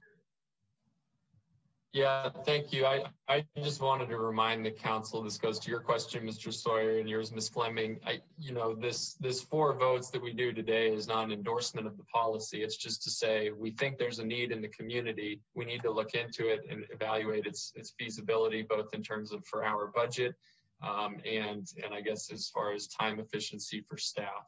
So I, and I just, you know, I threw out conceptual numbers to try to paint a picture. But you know, the, the intent is really for the council to use its expertise, for staff to use its expertise to come up with the best program. Seeing no other hands, Mr. Tibbetts, I have a question for you. Is this proposal currently with one of our task groups that have been formed. So here's yeah, here's my thing, uh, Mayor. I uh, spoke to somebody deeply involved with the uh, economic development ad hoc, and he had told me that that was not it was not in the, um, their working bucket. They had taken it out, um, which is why I wanted to bring it to council. I, I, but then I also received communique from Raissa last week that via email that said that they were working were, were planning to work on it, but um, are have now taken it out because it's it's uh, because I brought it to council. So, um, you know, my my feeling is is that I'd, I'd like to, I guess, if we want to keep it in the ad hoc, that's definitely not my preference because I think there is widespread need and interest in the community, and they'd like to see us uh, discuss this in a public forum um, that would be my preference. But you know, if it's the will of the council that it goes to the ad hoc, then I'd hope to get some definitive statement that it is going to be um, actively pursued and brought to council uh, at some point as a baked kind of policy for us to weigh in on. Great, thank you. You know, my understanding of the ad hoc, since I'm not on that one, but I'm very appreciative of the process that they've established, prioritizing those items that have the biggest impact. Um, and I've been very um, impressed with the work that they've done, including Mr. Sawyer and Vice Mayor Fleming. So uh, are there any other questions for Mr. Tibbetts or anyone else? Okay, Mr. Tibbetts, I'd ask that you make a motion and we'll see if we can get a second to bring it back to the city council agenda and formally assign it. Okay, I move that we um, bring this item back to council uh, as, as a formal agenda item. Second. We have a motion and a second. Are there any comments before we take a vote? Mr. Olivares. Thank you, Mayor. I appreciate the uh, information that's been provided so far, but I, I, do believe that this is something that should be taken back to the committee that has been working with the economic development aspects of it uh, I would ask them to uh, reconsider bringing this on and to uh, make some decisions as far as whether or not it is something that will be a great impact to our community or not uh, in relationship to some of the other things that they are considering as well. Thank you. Vice Mayor Fleming. Oh, yep, got it. Thank you. Um, I just wanted to speak a little bit to um, your point, um, Mr. Mayor, about how the ad hoc is making decisions so that, because um, we got a great report out from Ms. De La Rosa earlier, but I want to just, for everybody's consideration or uh, going forward, that what we're looking at is we don't, we're not picking things willy nilly. We're picking things that and this is not specifically in regard to what you're proposing, Mr. Tibbetts, just so you're for everyone's information, that we're picking things that we can um, implement quickly, that we um, are going to have the greatest impact, and that um, wouldn't necessarily be capable of being done in other times. And that's that's not as specifically at um, to this point, but just for future items. If you're wondering why something is or isn't coming out of the work for the working group. It's um, because it doesn't meet or is not the highest. We have probably 20 things that are on the list, and we're going after the things that are um, most um, adhering to those uh, the, that sort of sieve, so that we can get things done with the limited amount of staff time. And that um, if something comes out doesn't come out, it may be because there we've determined that there is not enough staff time or there's not enough funding or it's not going to have the kind of impact that we're hoping for. So just uh, going forward, those are some of the thoughts that I wanted to add. And with this one, I do have significant concerns about asking staff to go and do this this work that's sort of nebulous. But I do appreciate that there is a great and significant need in our business community for this type of product. Thank you. Mr. Sawyer. Thank you, Mayor. And I, I agree with the Vice Mayor. And I, I, it's important, I think, for the for the council to understand the the list of issues that we are dealing with. Um, some are controversial, some are not. All are important. And it wouldn't surprise me at all if this if this issue was not yet again um, looked at uh, because it's it, clearly there, there's there's interest in in at least taking a look at it again. Um, my concern is about the bandwidth of, the, of, our, of our staff and um, uh, I, I would have a hard time supporting it tonight. That does not mean that I'm not willing to have that conversation in our task force. And if we were to, because we we, we don't um, shy away from anything on that on that on that task force, um, both controversial and what would appear to some to be easy decisions. So um, I, I, I, fully expect a conversation to, to be had at the task force around this converse, around this issue. Uh, again, to to look at the possibilities. Um, I am just not ready at this time to uh, strap our, um, our, our staff with what appears to what with what I would think would be a fair amount of analysis and and research to come back with a reasonable recommendation to, to councils. I, I, I won't, I couldn't support it tonight. Thank you. Uh, Mr. Tibbetts. Thank you, Mayor. I, you know, I, I got to be honest. I'm a, I'm a little bit disappointed because what I'm hearing is is that we're going to tackle the things that are easier and more palatable and less time intensive on staff. But I'm not necessarily hearing what's the most impactful for the community. And that's where I, I worry about this ad hoc process a little bit, that we are not having these conversations in front of the public. Because again, as a member of the Community Engagement Input Task Force, I'm bringing to the council, to the Economic Development Ad hoc, what the express need has really been. And frankly, the ability to tap into this money should have existed 30 days ago um, a lot, you know, as time progresses, the need for the, some, a program like this is only going to grow. And that's, and that's really concerning to me. I, I know that cities can't be Hercules all the time and we can't do the certain things that, that, um, you know, require a tremendous amount of legal research, but you know, we're, I, I don't know, folks, how in a how in a disaster like this, when your business has been closed for 30 to 45 days, that keeping Fourth Street open is more important than making sure you have access to capital to pay your employees to keep your doors open and, and weather the crisis. Mr. Rogers. Thank you, Mr. Mayor. And, and I'm glad that Councilmember Tibbetts brought up the community engagement aspect of this. Uh, and that's exactly what I was going to say as well is it's not just about council members wanting to be able to express their opinions and their ideas. It's that day in and day out, as I talk to people who are impacted by this, everybody has a different idea of how they would like to uh, see this community recover, and everybody has a stake in its recovery.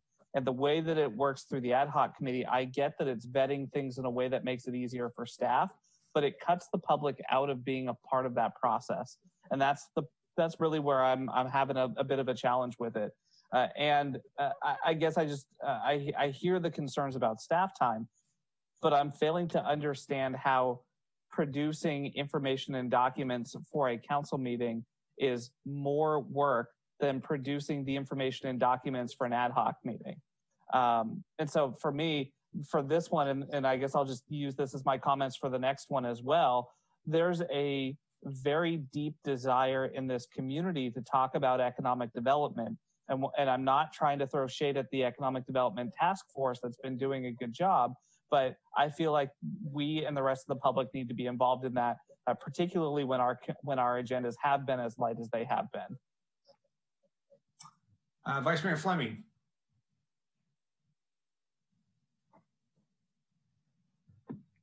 I uh, hear what you're saying and um, wanted to reiterate that um, that ease of getting things done is not the only thing that we are doing on the task force. We are um, eager to take on things that are difficult and um, wanted to make sure that that was made clear. Also, I hear your points about things being done in an open and transparent manner and have a commitment there as well.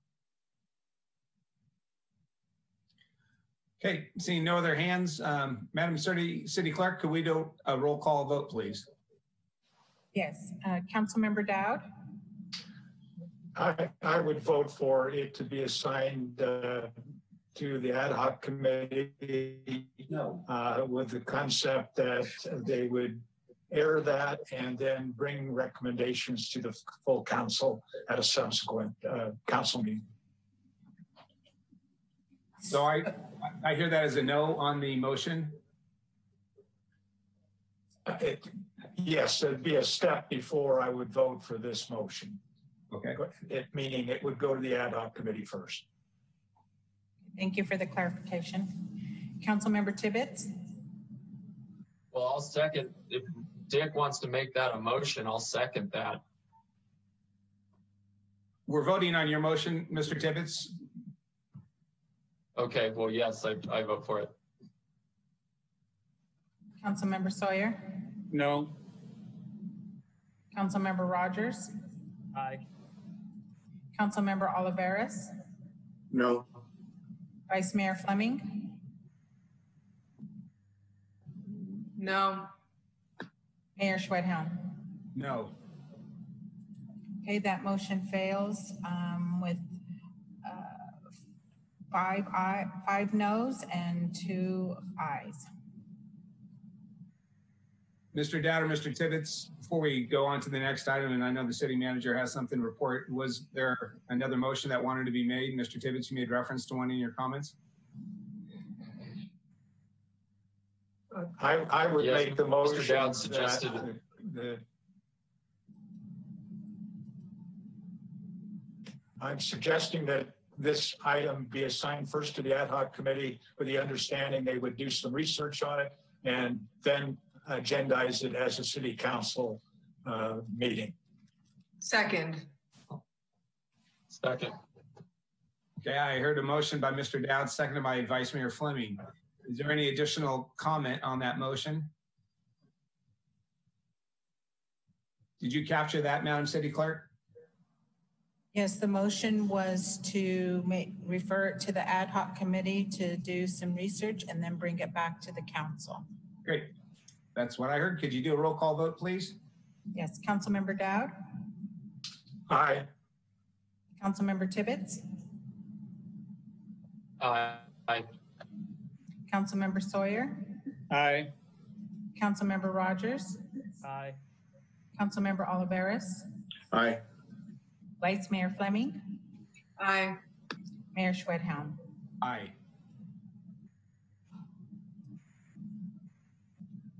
That passes with seven ayes. All right, thank you. Before we go to item 10.2.2, Mr. City Manager, is there some information you want to share with council and the public? Yeah, yes, I, I have to share with the public that they're going to receive a text message from Nixle um, to very shortly. Um, for those of those who've signed up for Nixle, um, instructing them that they are good, they must use if they want to track any of um, our messaging this evening. It needs to be through Santa Rosa's uh, Police Department's Twitter and Facebook handles. The reason being, Nixle is experiencing a nation, uh, uh, uh, a national issue with their communication networks. Um, so this is delaying significantly um, how Nixle is going out to communities. We've been trying to work on this um, issue for all day, and that is where we're sitting. So again, um, if you want to, for the latest updates, uh, as the evening progresses and we go into tomorrow, please um, go to Santa Rosa's Police Department's Twitter and Facebook pages to follow information. That's where the information will be coming over the over the evening hours and into tomorrow. Hopefully, we can get resolution. Um, but it is a problem that Nixle is experiencing. I would suspect there's a great demand for the usage of their product right now but it is significant delays to get messaging out through Nixle, and that that is what I had to share with the community. Thank you for that information, Mr. City Manager. All right, next on the agenda, item 10.2.2, a request for agenda item to consider a council discussion on policy development related to COVID-19. This was a motion by Councilmember Tibbetts and seconded by Councilmember Rogers. Mr. Tibbetts. Yep, thank you, Mayor. So I, I had uh, in consultation with Mr. Rogers, uh, felt felt strongly again that there needs to be a forum with which the public can contribute its ideas to the ad hoc process. Ad hocs are not Brown Act, um, you know, publicly noticed meetings. Uh, I know that during a time of crisis, I agree that ad hocs serve a very important role in, in our ability to respond quickly. but I think the time is is coming in short order where, uh, as Councilmember Rogers pointed out earlier, the public has a lot of great ideas about economic development. And I know that speaking for myself, people will supply me with ideas, and I have supplied that to staff. And until recently, that kind of just goes into a vacuum, and, and I don't hear about it because I can't legally reach out to Victoria and, and Council Member Sawyer with fear that they have reached out to Council Member Rogers and you have a potential Brown Act violation. And so um, I thought that it would be nice to have some sort of a public forum where the public could let us know what they need um, and what what it is that what ideas they have. So that was my reason for making the motion. And uh, thank you, Councilmember Rogers, for seconding. Mr. Rogers, would you like to add any information? Nope. I think my comments on the last item stand. Okay. Council, any questions for Mr. Tibbetts or staff?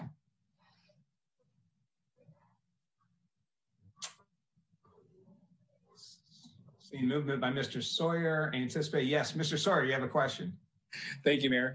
Um, Councilmember Tibbetts, could you uh, elaborate somewhat in, in, on the item? It refers to COVID-19 specifically. Um, is this is this an economic development conversation around the effects of COVID-19? I'm a little uh, unclear as to the intention of the item.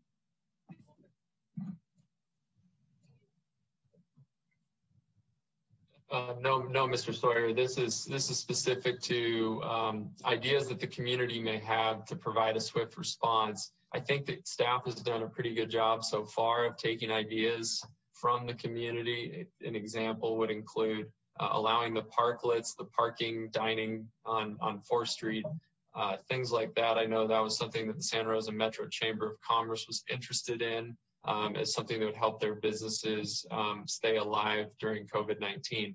But no, what we're talking about today is strictly just a forum where all of us councils, or excuse me, all of us council members can look at one another and speak to one another about what we think the priorities should be and and it could very well be, Mr. Sawyer, that the council says, here's the priority.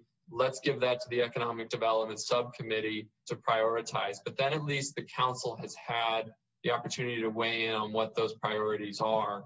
Um, part of my, you know, reason why I felt that this was was a good idea um, after talking with Council Member Rogers, you know, I think a perfect example was the minimum wage discussion. You know, I I was pretty shocked and blindsided as a council member to hear that the first thing that we're bringing out to the public was suspension of the minimum wage, yet we didn't actually look at any of the other business inputs that could have helped small businesses before jumping to that extreme. So, uh, and again, I, would love to just talk to you guys, but the Brown Act precludes it. So being able to do this, I think would, would create a healthy flow of information and allow the council as a body to determine those priorities.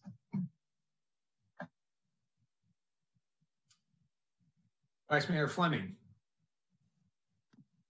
Um, Mr. Tibbetts, was is this something that you would envision like that would be sufficient in a study session or in a council item where the community is noticed in advance and has the ability to call in and share their comments with the full council, or is it something um, more elaborate that I'm missing?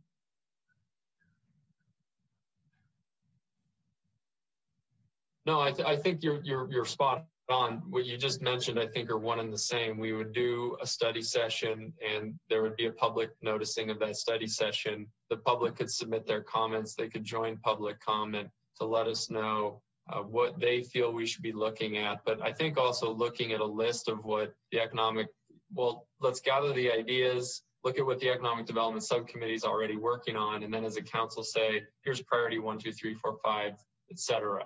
Um, and then you can do the work that you have been doing pretty well with staff in the ad hoc, but at least the council is is part of that agenda setting process. Thank you for the clarification. Any other questions?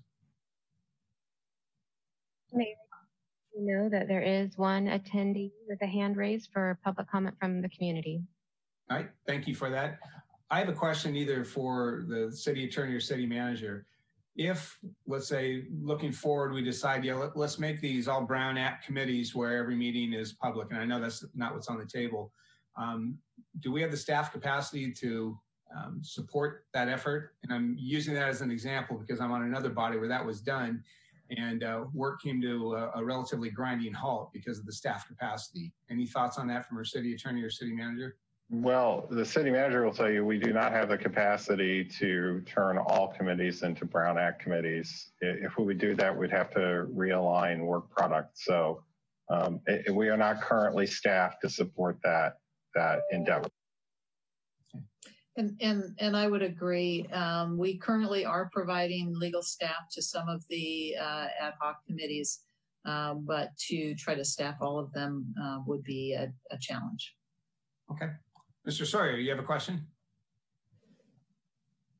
I do. Thank you, Mayor. So um, for clear, once again, for a little bit of clarification, I believe the, the Vice Mayor uh, asked the right question, which is, would this could a study session suffice to allow the community to weigh in on what they feel are priorities uh, for our ad hoc committee to consider?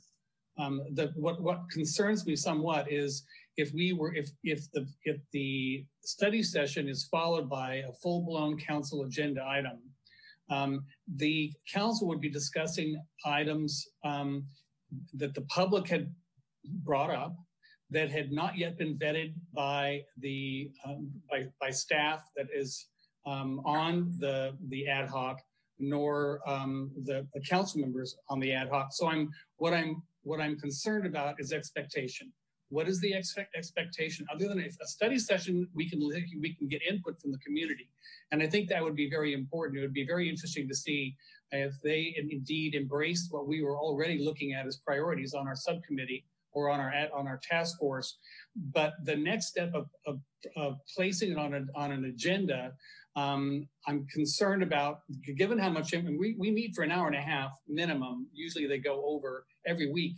So there's a great deal of information that's been trans that, that goes back and forth between staff and council and uh, and and also uh, and the, and the community because things are brought to us from the community. Uh, we don't work within a vacuum. So if, if we if we could limit this um, item to a to a study session to gain input from the community, um, that's something I could support.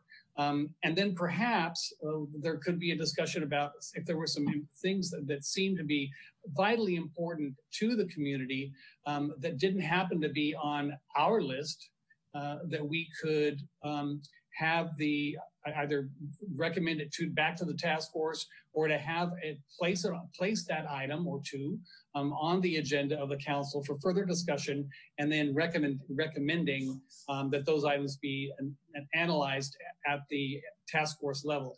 I just would like to start with a study session. We could just leave it at that, it's something that I could support, but I am concerned about moving beyond that step um, prematurely. Okay, any additional questions from council? Uh, Ms. Vice Mayor.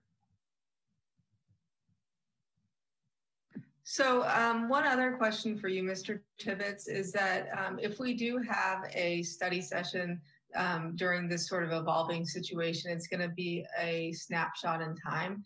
And I agree that it's very important that we uh, have a, a public facing and inviting way for our community to share their ideas with us so that we can tailor things to meet the needs of our community. With that, if we were to have a study session, that would be one, uh, one moment in time uh, during an evolving process. Would you be open to it being um, an, an item that comes now and then on a, an agenda for people to weigh in um, or call in or something like that? Um, because my concern is that we do this and then it becomes potentially irrelevant, um, but with significant amounts of policy direction at, at that point in time that becomes difficult to undo if, if we decide as a council or as a community that we need to be nimble. What are your thoughts about that? Well, I think if we do this right, it will become irrelevant pretty quickly. Uh, and I think it should start with a study session. Um, so to piggyback off of and respond to Mr. Sawyer directly, I think that my motion should just be a, a public study session on on COVID response and economic development. And we start with that. And if we determine that there it is just a snapshot in time and more work needs to be done, I see no reason why the council could uh, could not convene a second study session at a later time. I don't foresee the need for something standing. Um, to me, that does equate to high bandwidth consumption. Uh, so I, I would probably just stick with study session and ask the council to consider that. So um, a follow-on question to that is, um, so if we were to do a study session, would we then be walking away with specific direction in the pol- in the format of policy direction, or just with a prioritization of things for the um, the task force to work on? I, I would say prioritization um, I trust you. I trust Mr. Sawyer. I trust our staff working with both of you. I don't see the need for the council to micromanage, but I do see the need for public input and council prioritization. Okay, thank you. Mr. Olivares.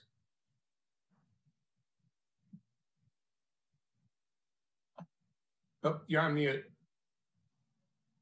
My apologies. I'm trying to uh, understand if this is the best method in trying to uh, resolve the needs that we're trying to address here. And it sounds like that is uh, a forum for public uh, engagement or involvement in some of our discussions related to the COVID response. Um, I'm not I'm not satisfied that a uh, agenda item or a study session will satisfy that will satisfy that almost as a one and out. You come in, you give input, and you're done. Uh, from my perspective, it may be, uh, I mean, we have a good process in place now, and it is an evolving situation that we're dealing with. We do have a place on our agenda for a city manager to provide COVID response updates. I think that is a place for staff to provide updates on what is being accomplished in the different uh, committees that we have. There is public comment during those times for them to be able to provide us additional information or ideas and concerns and because things change very rapidly. So I'm, I'm just thinking or asking whether or not that is, what is being recommended is the best approach to try to solve this problem.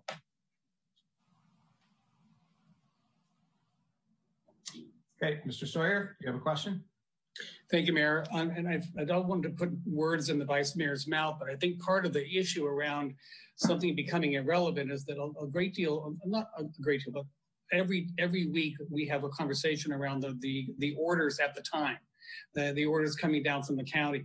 So because that is a moving target, and because the as we hopefully start to um, uh, open up more and more, uh, that that kind of brainstorming that might take place at a study session, and we don't even know when that study session might take place. It's all it is you know time uh, sensitive. Um, and also we have, uh, even though our agendas have been light, um, we, we, are dealing with some fairly serious issues right now. Um, that being the one you're asking about being one of them.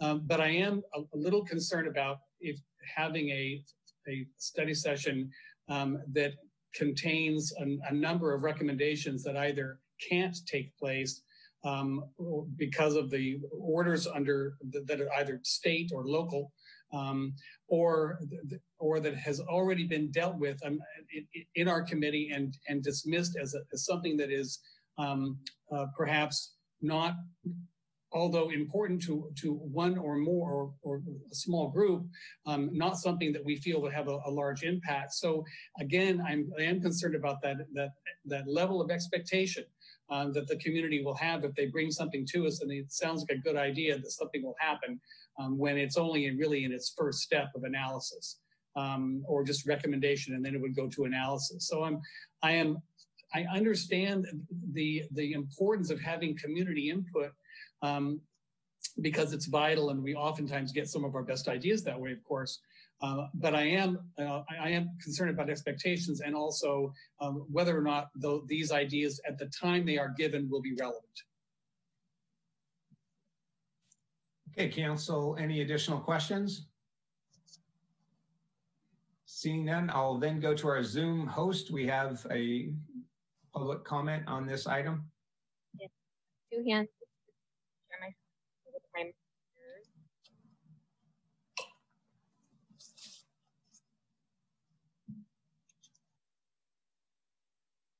Uh, the first public comment will be by Eric F., followed by Sean. Eric, I have enabled your speaking permissions. Can you please unmute your microphone? Thank you. All right, your time begins now. Thank you. Thank you very much. Um, City Council, it's nice seeing your faces. I wish I could see your faces as I'm making my comments uh, so I can see whether I have your attention or not. Uh, this, what um, Councilmember Tibbetts and, and Rogers and Councilmember Rogers support, I think, is a different question than what you guys are sort of beating around the bush on. And this has to deal with how the public feels they're engaged in a process, not the the actual fact of managing expectations. I think pretty much everybody in the city, and especially the thousands of disenfranchised people that feel disenfranchised, that uh, you know that assemble in the city square, for instance, or just go about their daily business, realize that if they have some sort of idea the chances are that it's not going to be taken seriously at all, quite frankly. And so, pretty much everybody in the city realizes that everything goes through a political process. And I think that's really the fear of when things just are set up in an ad hoc committee, that that's emblematic of the political processes that a lot of people distrust and really want to uh, alleviate from their daily lives. They prefer not to even think about it. And at this particular time, when we are pivoting, when we have these crises that redefine us, what I would like to see is a city council that is engaged and doubles down on the ability for the public to participate so that new leaders come forward, that the leaders that we have are supported and understood, and that the backroom politics that happen, especially, especially in economic development issues, is initiated from the city, that we don't operate that way any longer. And so, um, I, you know, what I hear today is just sort of politics as usual. And I think the ramifications of that is disillusionment as usual. Thank you very much.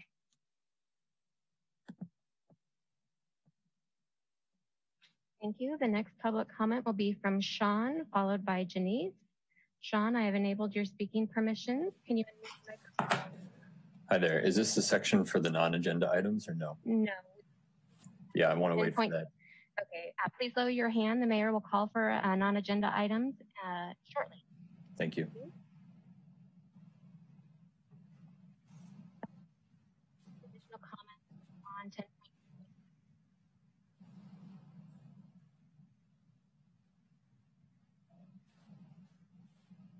I'm sorry, Dean, just to, cl- looking out there, we have no other public comment on item 10.2.2? That is correct.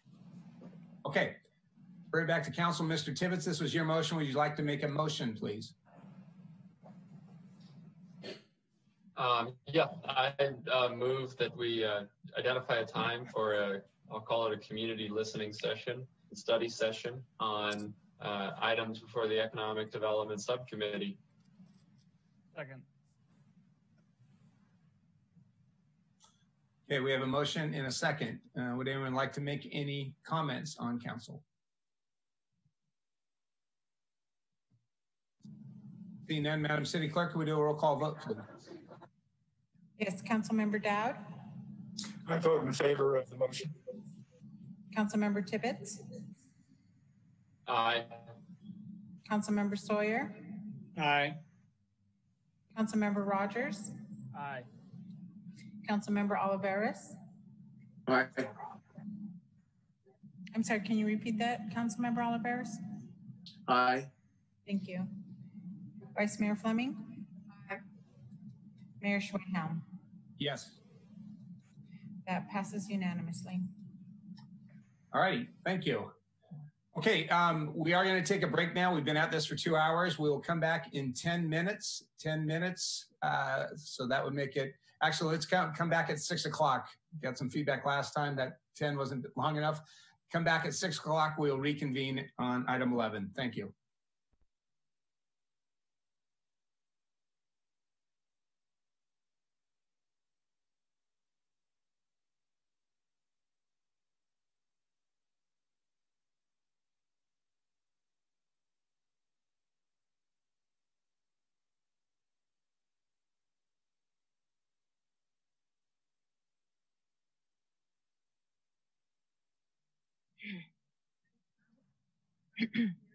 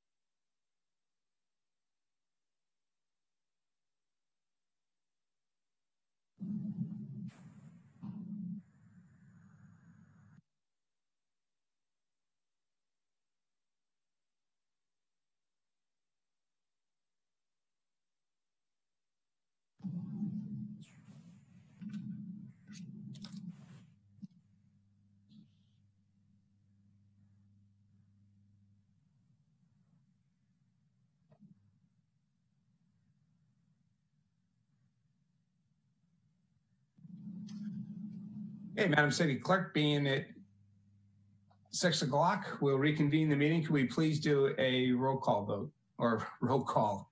Yes. Uh, Councilmember Dowd, Here. Councilmember Tibbetts, Here. Councilmember Sawyer, Here. Councilmember Rogers, Councilmember Olivares, Here. Count- Vice Mayor Fleming, Here. Mayor Schwedhelm. Here. Let the record show that all council members are present with the coun, with the exception of Councilmember Rogers, who has left the meeting. All right, thank you. Back on the agenda, item number 11, approval of minutes, 11.1, the March 3rd regular meeting minutes. Did anyone on council have any adjustments or corrections to those meeting minutes? Seeing no heads, no hands or heads nodding, uh, we'll accept those as submitted. Mr. City Manager, consent items. Item 12.1, resolution, third amendment to general service agreement with NOR Systems Incorporated for a one-year extension of carbon dioxide and chlorine tank fill services at city pools. Item 12.2, resolution, bid award, purchase order for F 2 2020 Ford F350 extended cabs and chassis with nine-fit utility body. body. Item 12.3, resolution, permanent local housing allocation application. Item 12.4, resolution, extension of proclamation of existence of a local emergency due to 2019 Kincade fire. Item 12.5, resolution, extension of proclamation of existence of local emergency due to 2017 fires. Item 12.6, resolution, extension of proclamation of existence of a local emergency relating to the threat to the community posed by COVID-19. Item 12.7, resolution, extension of the proclamation of local homeless emergency. All right, thank you that, for that. Council, any questions on any of those consent items? Seeing none, uh, we're now taking public comment on item 12, consent calendar. If you wish to make a comment via Zoom, please raise your hand. If you're di dialing in via telephone, please dial star nine to raise your hand. Uh, Madam City Clerk, could you take over for public comment on this item? Yes, the Deputy City Clerk, Manis, will um, raise the- the hands of the folks who, to submit live public comment, and then we also have recorded public comment. So she will take over now. Thank you. Can you hear me okay? I can. Okay, thank you. Uh, we have one raised hand for public comment. At this point, uh, the first public comment will be from Martha Glacier. Martha, I have enabled your speaking permissions. Can you please unmute your microphone? Hi. Hi. Can you hear me? I can hear you. Do you see the timer? Amazing. Uh, yeah, I, but I'm just going to read. Yeah. So I, I also um, submitted a statement, but this is a different thing I was just going to say. Um, I just wanted the council to know that Verizon shareholders received advice in their recent shareholder report in February 2020. And I've just discovered I actually, unfortunately, have some um, limited share in my limited retirement fund. And so the words for shareholders Verizon says we are subject to a significant amount of litigation, which could, re- oh, sorry, this is um, pursuant to cell phone towers and small cell antennas and not wanting the city council to pursue engaging with uh, permitting and licensing further towers and antennas with Verizon and AT&T without a really strong ordinance, restrictive ordinance about ordinance about setbacks. Sorry, I Martha, just didn't- Martha, this is Mayor Schwedhelm. Can I interrupt? That would be our next item that you can share those comments because the consent calendar doesn't have anything to do with what you're speaking of. So that would be a non-agenda item. Could you wait a little bit and share those comments at our next item?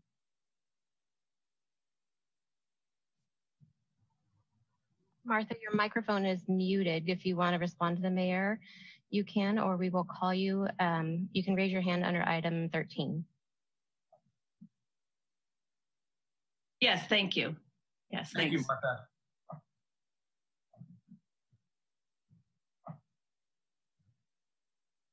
Mayor, I do not see any additional public live public comments on item 12 consent, so I will move on to the recorded public comment.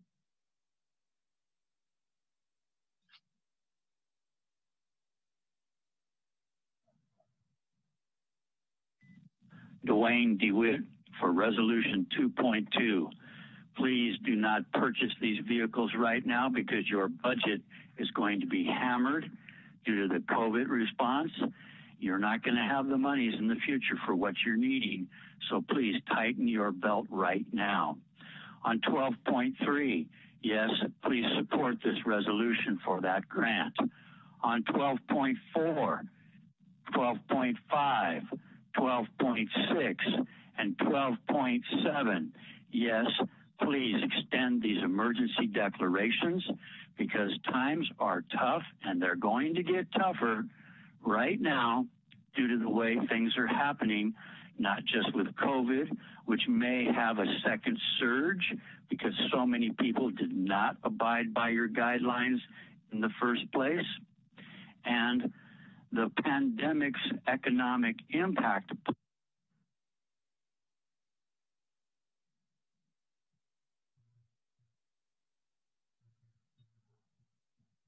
Mayor, that concludes the recorded voice message public comments. And we did not receive any email or e-comment um, public comment. So that concludes public comment. All right. Thank you. Council, any additional questions on the consent calendar? Seeing none. Ms. Vice Mayor, this is your item. Yes, thank you, Mr. Mayor. I'd like to move items 12.1 through 12.6. Second.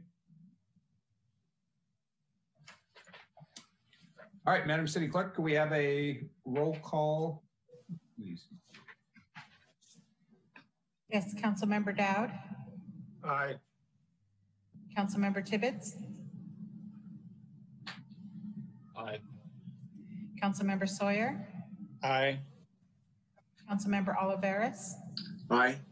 Vice Mayor Fleming, Aye. Mayor Schwedhelm.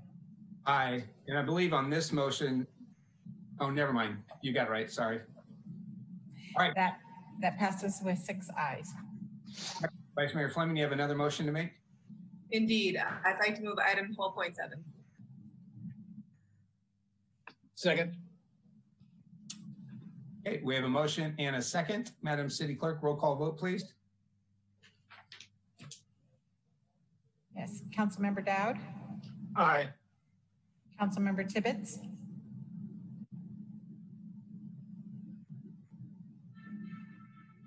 Councilmember Tibbetts. Councilmember Tibbetts is recused from um, Oh, item I'm 12. sorry. That's right. Thank you. Councilmember Sawyer, Aye.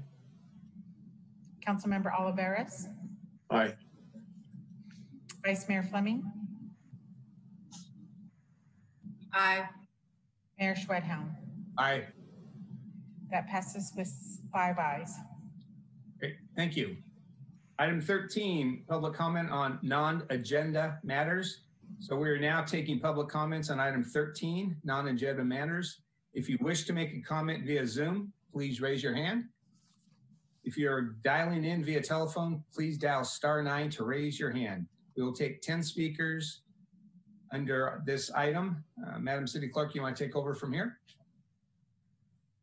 Yes, uh, Deputy City Clerk Manis will start with live public comment.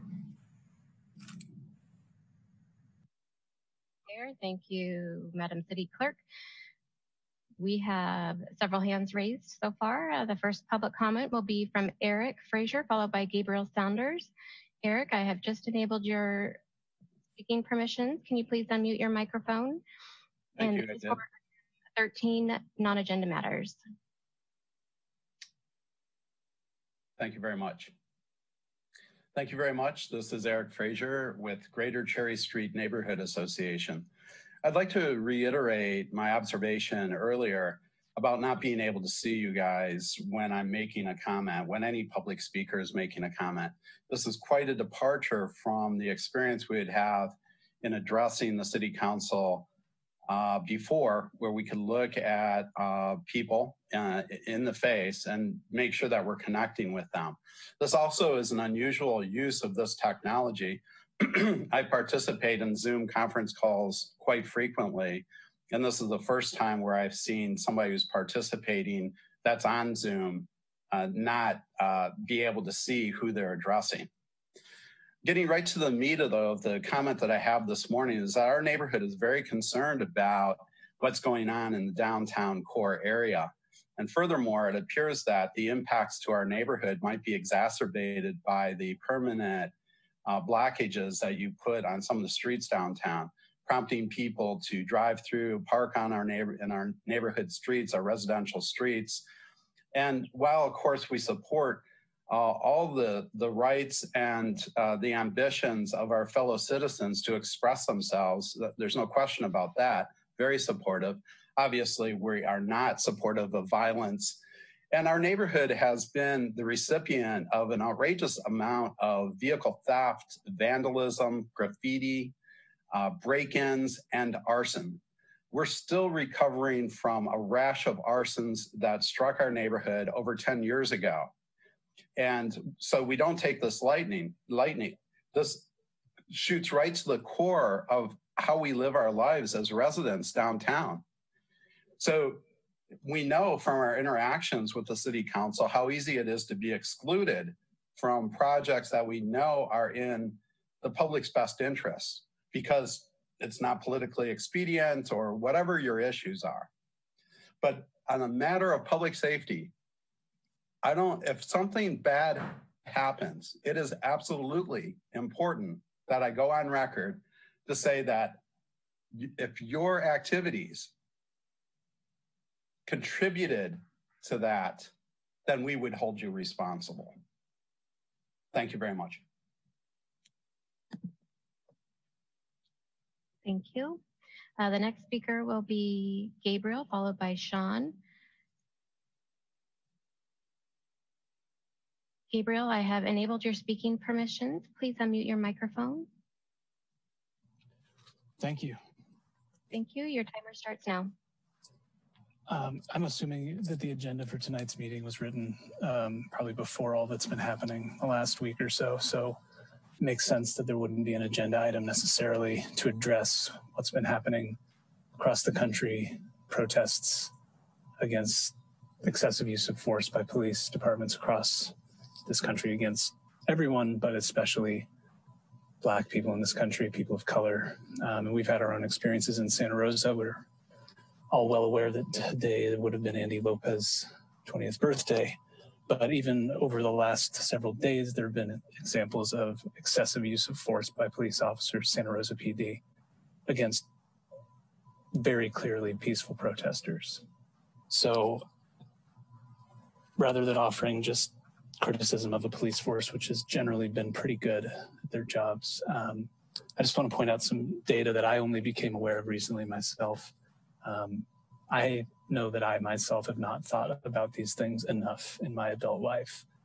Um, even as a graduate student who studied public policy, this hasn't been on my radar nearly enough. And that's what's become abundantly clear in the last week or so. I just wanted to point out some resources that the city council and the Santa Rosa Police Department should be aware of. Um, I became aware of something called Campaign Zero, which has been a data based project analyzing police violence across the country, showing that the most effective method, according to this data that has been studied since 2014, uh, shows the limitations on use of force written in and codified into police, um, basically the laws that they have to follow, um, including the uh, the immunities that they enjoy uh, around what acts they can commit and basically go unpunished. But limitations on use of force in, included in training and included in just the guidelines that they must follow in order to retain their jobs. Um, these are the best ways to reduce the violence that we've seen. And it's clear that our Santa Rosa Police Department does not abide by the best practices and limit, limitations on use of force. So I would just encourage you to look look up Campaign Zero, look up what they're doing. Um, one researcher named Samuel Sinyangwe has reported just what I'm telling you.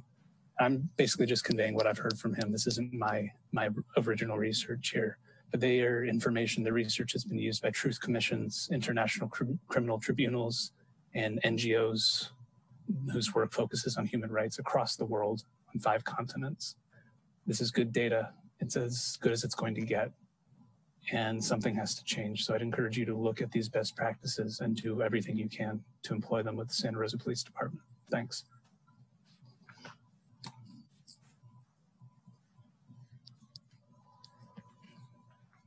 Thank you, Gabriel. The next public comment will be from Sean, followed by Martha Glacier.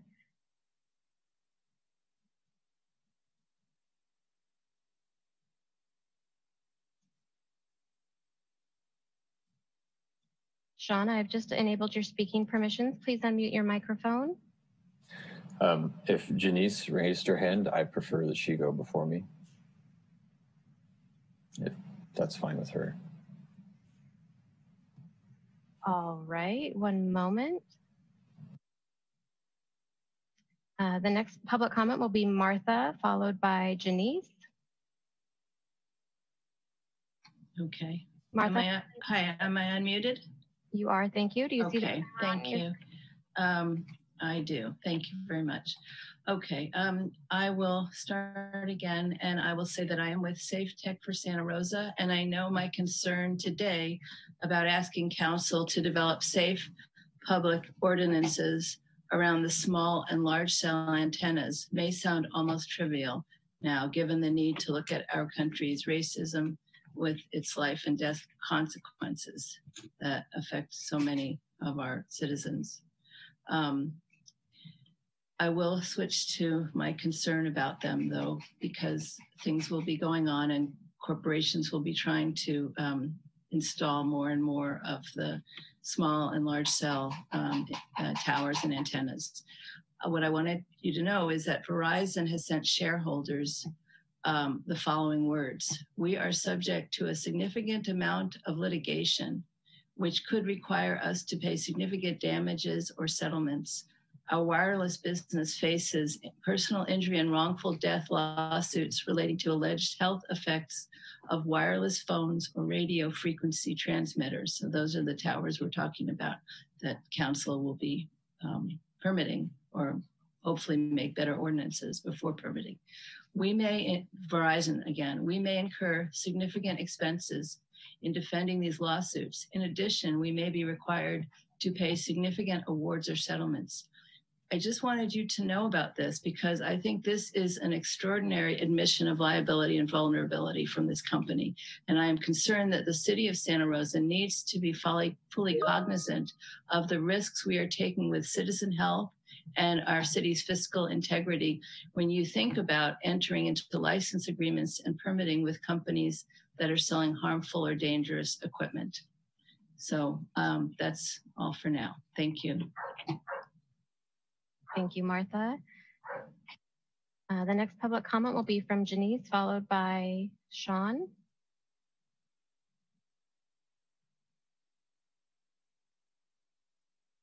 Janice, I've unmuted your microphone and enabled your permissions. Do you see the timer on your screen? Yes, I do. Thank you. Your time starts now. Okay, so the first thing I would like to address is this curfew. Um, I understand the city council and the mayor, um, you guys are doing everything um, to condone the violence. Um, I just want you guys know, to know like these looters do not represent Black Lives Matter.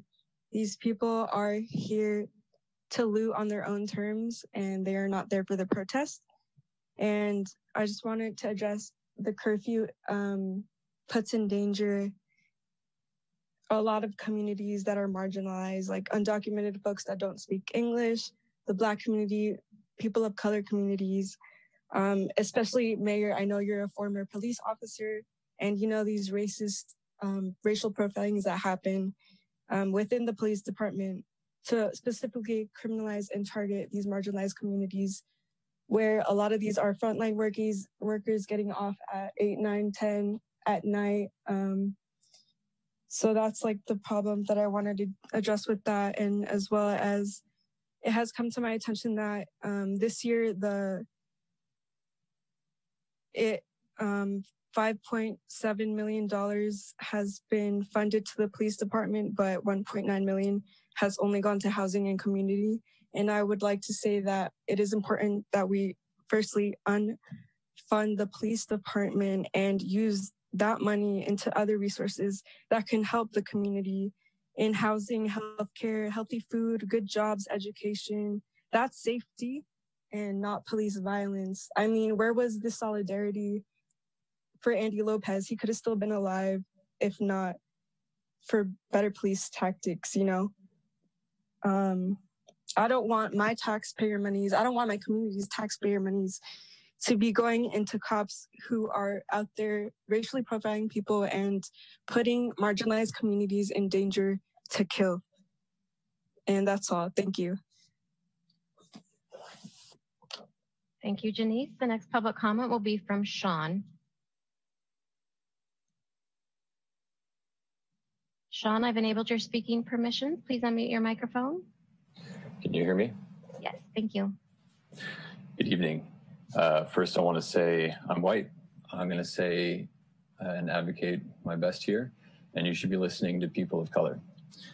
For instance, the words of Sonya Renee Taylor. Um, telling people of color how to protest is racist. Whether that's saying don't use violence or applying a curfew, those are racist actions. If I could see you, I would ask for a show of hands but you can answer for yourself whether or not you think a curfew is racist. Let me explain why. Um, in the civil rights uh, movement, when MLK was active, that's when they touted uh, peaceful protests. Back then, the issue was where black bodies can and cannot go. So an act of protest was using your black body and putting it in a space that it's not allowed. That was the peaceful protest. That was also not seen as being peaceful, but that was the peaceful protest. That's not what's happening today. Today, what's happening is um, Black people, people of color, are being attacked and killed. They're being murdered. So it's not about where they can and cannot go. It's about they are being murdered. They are defending their life. If you, if someone is trying to kill you, you should be able to use all the means necessary to defend yourself. So we have a problem here at home. Uh, when you send police in to contain protesters, they're not just law enforcement, they are counter protesters. They are counter protesters that are well funded.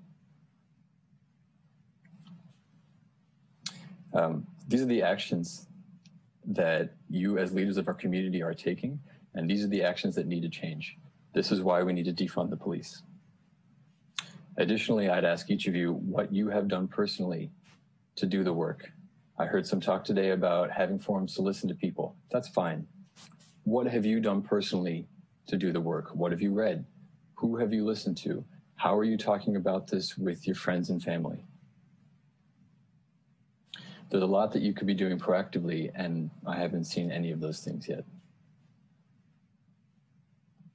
I'm curious how much money we're spending on the police action this week versus how much money has been spent to feed the communities that are being hurt by COVID. Your actions and the way you're spending the money is racist. And I want to see that change. Thank you.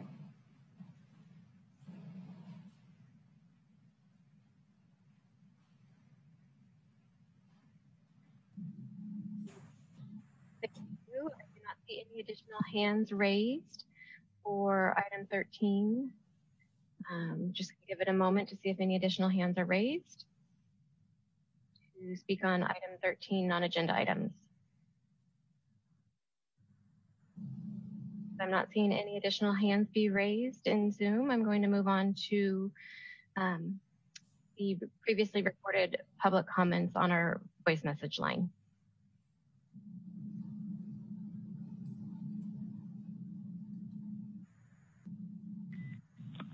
Hello, Santa Rosa City Council.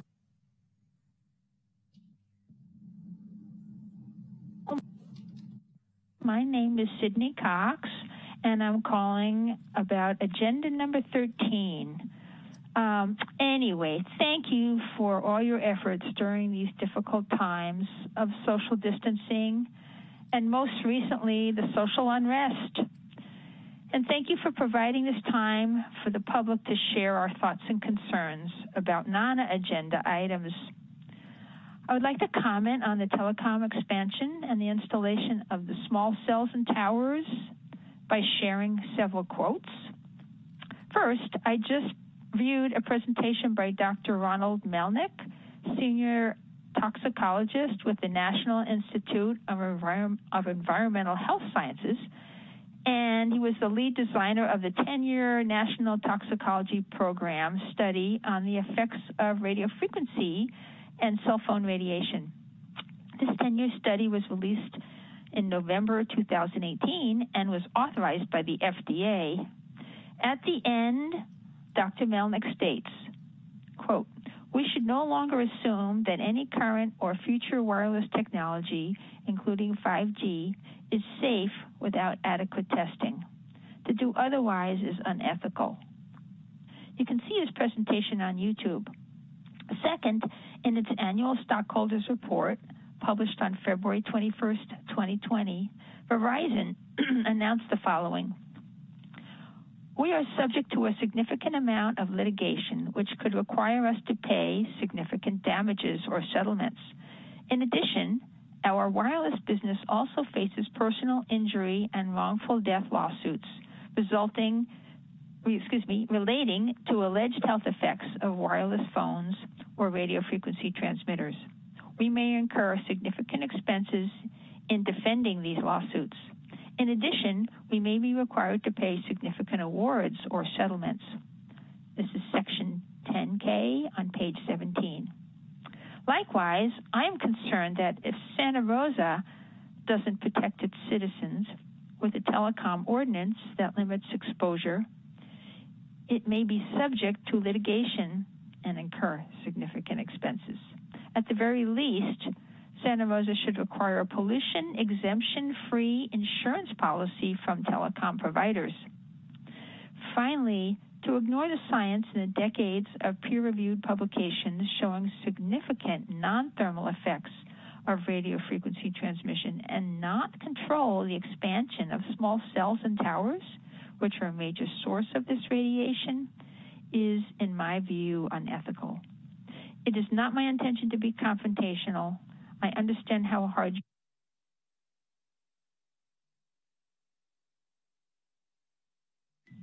Hi, my name is Jeremiah Comison, and this is about agenda item 13 regarding 5G towers in Santa Rosa. Uh, as a longtime resident of the county and a rural, excuse me, urban resident in Santa Rosa now, uh, I'm very concerned about 5G towers going up near residential communities, as well as anywhere near school parks, uh, school playgrounds, schools of any sort, or around children. There's not enough conclusive data to support that 5G is safe at this point, and there is lots of data to conclude or at least explain that there are questions that still need to be answered. I would like that we are able to postpone or have some sort of city ordinance of control around where these towers are placed and how they're installed and how close in proximity they are to where people sleep, where people eat, where people play, and where people live. We need to make sure that the technology that we roll out is safe. And I would like some sort of accountability with this, especially in our Santa Rosa community and across Sonoma County. Thank you. Hello, I am calling regarding agenda item number 13. My name is Janice Bradshaw. I am a mother, grandmother, past elementary teacher, and a resident of Santa Rosa. The polarized pulse modulated microwave radiation from wireless telecommunication facilities, or WTFs, small cell towers and 5G would cause harm to the residents of Santa Rosa, especially the children. It is well established in peer reviewed scientific studies that EMFs from these small cell towers cause harm to our bodies, cells, and neurological systems, causing fatigue, learning and memory problems, ADD, hyperactivity, early dementias, headaches, anxiety, depression, and even cancer. I am asking the Santa Rosa City Council to stop the rollout of 5G until it can be proven safe by independent research. I am asking for the city, Santa Rosa City Council to create an ordinance to control where small cell towers are located.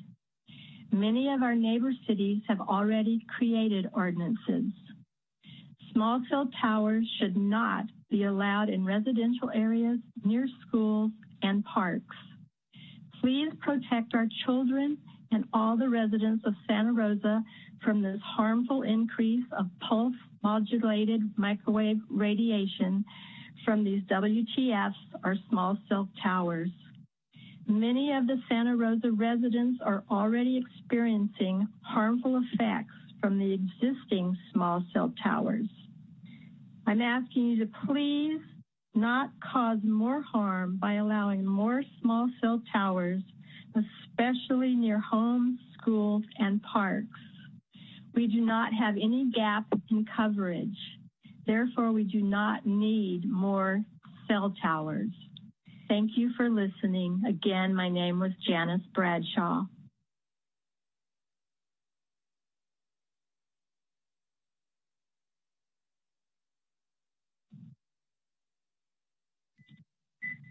Agenda item 13, Jennifer Laporta, uh, registered environmental health specialist. As a tax-paying homeowner of Santa Rosa, I am once again commenting on the undemocratic rollout of wireless transmission facilities, or WTFs, throughout our fair city. I say undemocratic because we, the people, were given no chance to vote on whether or not we'd like a WTF installed in front of our home, on our block, neighborhood, by our school, hiking trail, senior center, etc. I have personally knocked on over 100 doors in Santa Rosa asking neighbors if they were notified about the WTF coming to them soon or already installed. Only 10% of residents told me they were indeed notified. Why is the applicant sending these notices? Why isn't the city? The city needs to notify residents by certified mail if indeed residents are not allowed to vote. My survey showed 90% of residents object to these invasions to our good health, safety, and privacy. 90% do not consent to be guinea pigs in this massive science experiment. As fire season approaches, you must protect us from fires that could be started by overloaded poles. The 2007 Malibu fire started when three power poles snapped during high Santa Ana winds that ignited nearby brush. Investigators for the CPUC alleged that at least one of the poles that fell was illegally overloaded with telecommunications equipment. Investigators further alleged that Southern Cal Edison and the four cell phone companies later misled investigators surrounding the circumstances of the cause of the fire. When the Mendocino complex fires began last August, Verizon throttled critical wireless service to firefighters. Verizon imposed these limitations despite being informed that throttling was actually impeding firefighters' ability to provide crisis response and essential emergency services.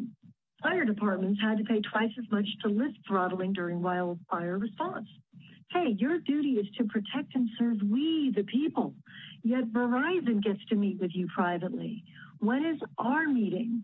We have almost 200 people on our email list. We are an organized group of activists. Where is the updated telecommunications ordinance? We've been asking for this for over a year. We have ideas that you might find useful, like how to protect against this huge liability. Thank you very much.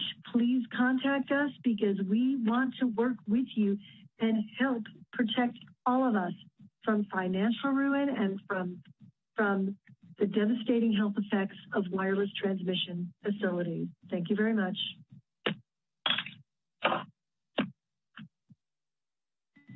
This is just a general comment. I live in the Roseland area and don't have internet access 24 7 and can't be at these meetings online. I request that these meetings be postponed until such time as they can be held in person normally at City Hall. Thank you for your time.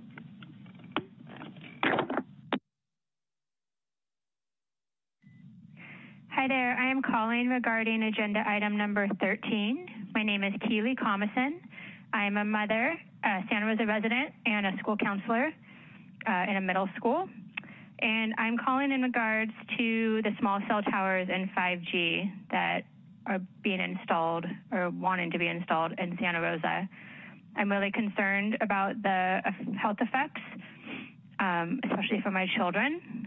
Uh, I'm really concerned about 5G being towers being installed close to schools and residences and playgrounds. Um, I feel like there needs to be more um, studies done to show that it is safe to have 5G small cell towers, tower, towers close to residents and schools. And I would like to ask the Santa Rosa City Council to stop the rollout of 5G until it can be pro proven safe by independent research. I would also like to ask the Santa Rosa City Council to create an ordinance to control where the small cell towers are located. Uh, many of the neighboring cities have done this until they have been proven to be safe, and I would like Santa Rosa to consider doing this as well. I don't believe that small cell towers should be allowed in residential areas near schools or parks. Please protect our children and all of our residents. We already have enough health effects going on, and we don't need more um, until it can be proven safe. Thank you for, so much for your time.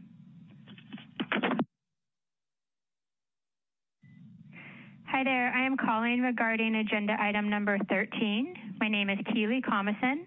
I am a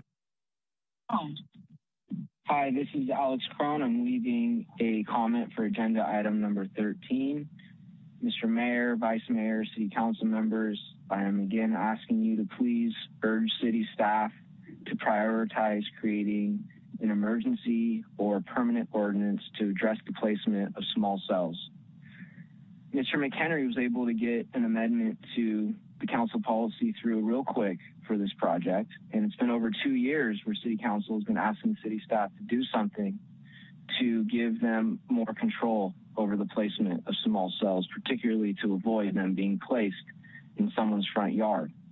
I personally am a stage three cancer survivor. I have a malignant schwannoma, and I submitted to the city clerk onto the public record a video uh, by the lead scientist in the largest ever randomized controlled trial on the carcinogenic effects of RF radiation. And what he clearly states in the video is that RF radiation at safety standards below the FCCs of the 4 watts per kilogram thermal effect that Mr. Hammett from Hammett & Edison was talking about in our last study session, where they expose monkeys until they wouldn't eat food, is wrong. It's clearly wrong. And that study showed that RF radiation causes the same type of cancer I had, which is a malignant schwannoma. And so currently I have the right in my home to not run Wi-Fi. I opted out of a smart meter. I use an ethernet cord for my phone and for my computer, use a landline whenever I can. And if you go and put a small cell in my neighborhood on a pole, I lose that right to protect myself. And I am trying to stop a recurrence of cancer and to save my life. And I think it's reasonable to believe that RF radiation exposure might have something to do with that based on the science. So there are already too many people in Santa Rosa with small cell phone towers in front of their homes being harmed. So we need to stop it from getting worse. I kid you not, I have attorneys from around the nation who have reached out to me because they know I know people who live next to small cells looking for that perfect plaintiff for the class action lawsuit. So let's not be that city with insurance that doesn't protect you with hungry lawyers out there looking for people being harmed by small cells because they are. And so I ask you please to do the right thing show your authority and let's have city staff create something. You were elected by the people and the people are asking you to protect them. I think there are easy steps you can take at this point. The ordinance includes things like proper notification.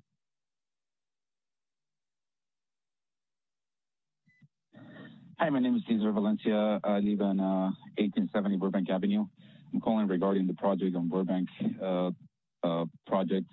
Uh, you know, uh, because of the whatever's going on with COVID, you know, I haven't been able to get the internet people to um, come to my house and fix the issues. Uh, I can't connect to the internet at all right now, and they haven't given me a date to come and uh, you know uh, fix the issue that I have on my on my place. Uh, so I don't think I'm going to be able to uh, be connected tomorrow for the meeting that you guys having for the uh, development. Uh, any questions? Uh, my phone number is 707-483-9781.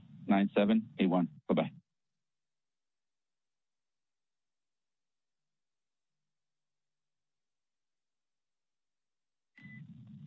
Hello, my name is Katya Miller. I live in Oakmont. I'm calling about agenda item 13. Um, we are all concerned about the city's budget. Research proves that property values decrease 20 to 25% where there are cell towers or antennas. Property values will continue to go down and tax revenue will continue to decline.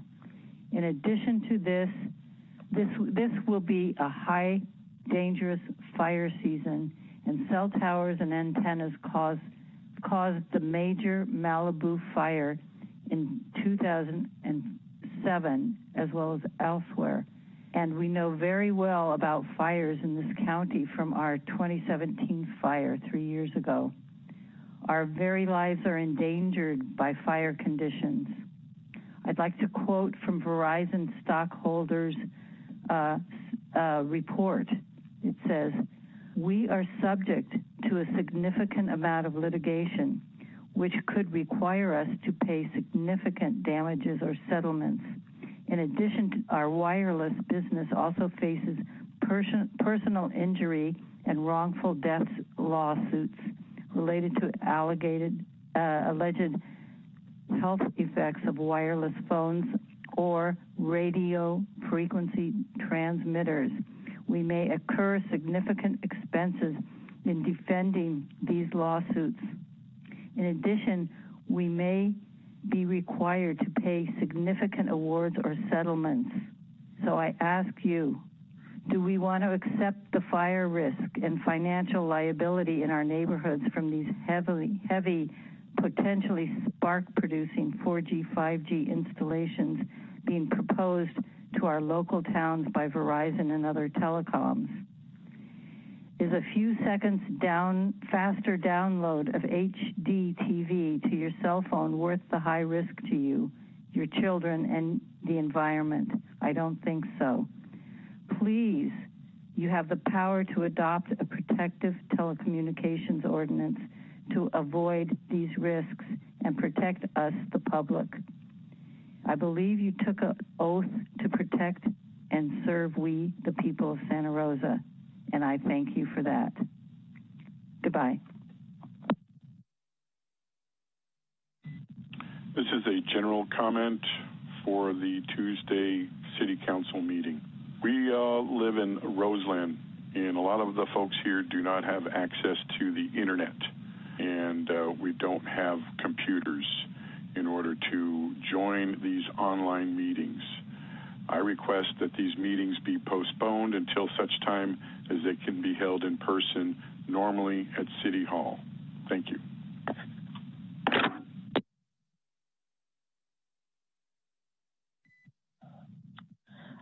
Uh, my name is Nick Reinberg. I'm a resident of Roseland, uh, Santa Rosa, and I am calling to object to all hearings that are currently being held via Zoom as a violation of the Brown Act, as violation of the um, first uh, Article 1 of the California Constitution, as well as the um, uh, as well as the um, Keene Act as well, the, the uh, for purposes of public participation and comment, for the reason being that we are not being, we are, the citizens of this city are not being permitted to actively participate and respond to action items that are being brought up and statements that are being brought up during the meeting.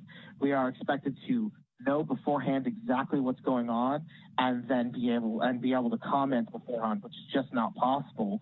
Uh, as in addition, we were informed today during a telephone conference with the city officials that public comment and call in, you can't even call in during the meeting because of the limitations of the city's knowledge on how to use the Zoom application that they are employing. This is directly in violation of the citizens' rights to be able to be informed, as well as participate in the actions of the local governing body. All of these hearings should be postponed, including the appeals uh, that are taking place on Thursday, on this coming Thursday, regarding some Roseland, uh, regarding Roseland uh, development, and they should be postponed until after this COVID crisis is complete, as these are not essential items to be put up right now without proper participation. Thank you.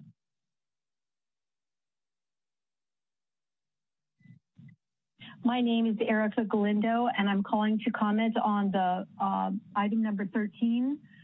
I am a 12-year resident and homeowner in the city of Santa Rosa, and I would like to start by thanking you from the bottom of my heart for standing up for the residents' protection, property values, and peace of mind over the last two years. You guys have done the right thing for our residents by putting a pause on the Verizon small cell rollout. But now it's time, and I'm calling today to ask you to please create an emergency ordinance or make it city law or code, just like many other cities have done, like Mill Valley, Petaluma, San Rafael, and others, whereas there are protections would be put in place, including due process, notifications, and a chance to appeal. We need to establish setbacks, and there needs to be a stop on any more rollout until we can update the code or implement an ordinance. I have watched sessions online, and I'm blown away and shocked at how many residents are opposed to this, and yet the propaganda and deceit that was presented to the city council by the providers and the city staff, and how they have not been accurate regarding the authority the city has to control the placement of small cells. These providers have acted like bullies and they've tried to come into our town and completely take away the rights of the citizens of San Rosa. I do not want a close proximity tall cell tower or small cells in my neighborhood next to where I work or where my kids go to school, exposing us to known carcinogens and neurotoxins. I was shocked to learn that there are already three full 5G cell towers too close to my house already on Fulton and West College, Fulton and West 3rd, just um, south of West 3rd, and next to a place to play park where I frequently walk my dog. I spend a lot of money to try to keep my family healthy. We eat organic. We don't use pesticides nor chemicals in our household cleaning supplies. I feel I have a right as a citizen of Santa Rosa to live in a neighborhood without exposure to known cancer causing radiation. For a big tech company to roll out small cells under our noses to put us in under direct exposure to known, known cancer causing radiation takes away my peace of mind and puts us at risk. I feel like this is an assault, a dirty handed assault on my rights, and I'm furious that this has been taking place without being notified. And quite honestly, if this were to take place in my neighborhood, I would move out of Santa Rosa. In addition, as a retired professional realtor, I know that under state and federal laws, realtors must disclose, must disclose certain information to buyers and sellers of any known hazards on a property. So the fact that 5G could be a small cell next to a property would reduce property values. I'm begging you to create an emergency, emergency ordinance to stop the further rollout of small cells in Santa Rosa. Thank you.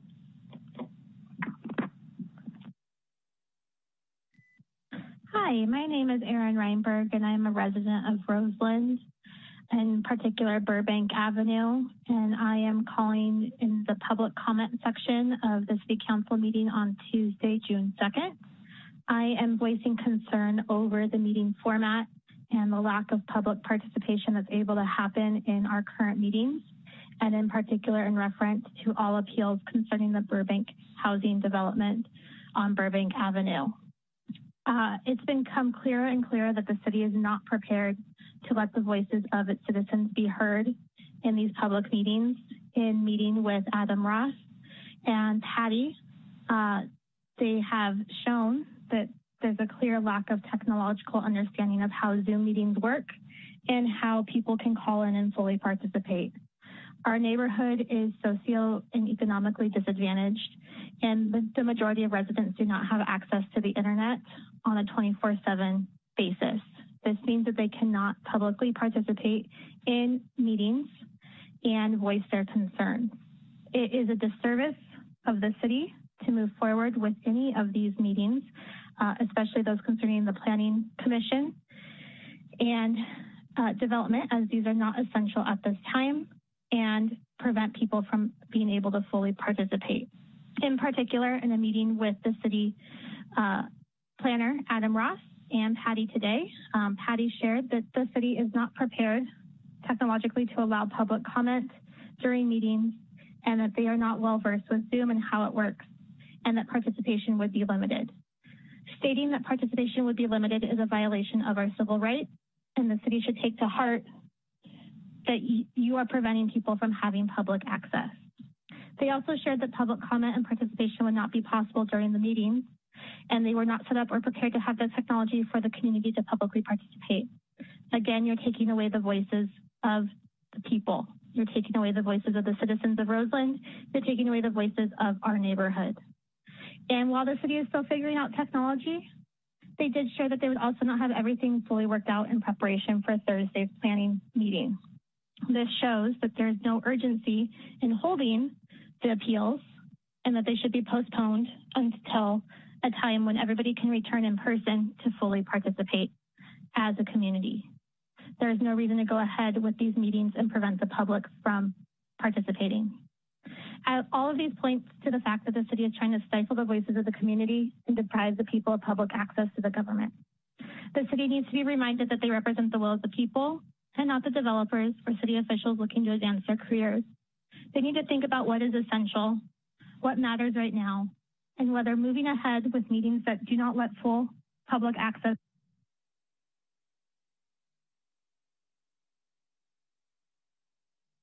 Duane DeWitt, item 13, public comment. Please continue or cancel fully the design review board meeting on Thursday, June 4th, because you're doing it through Zoom. It leaves many members of the public not being able to participate fully.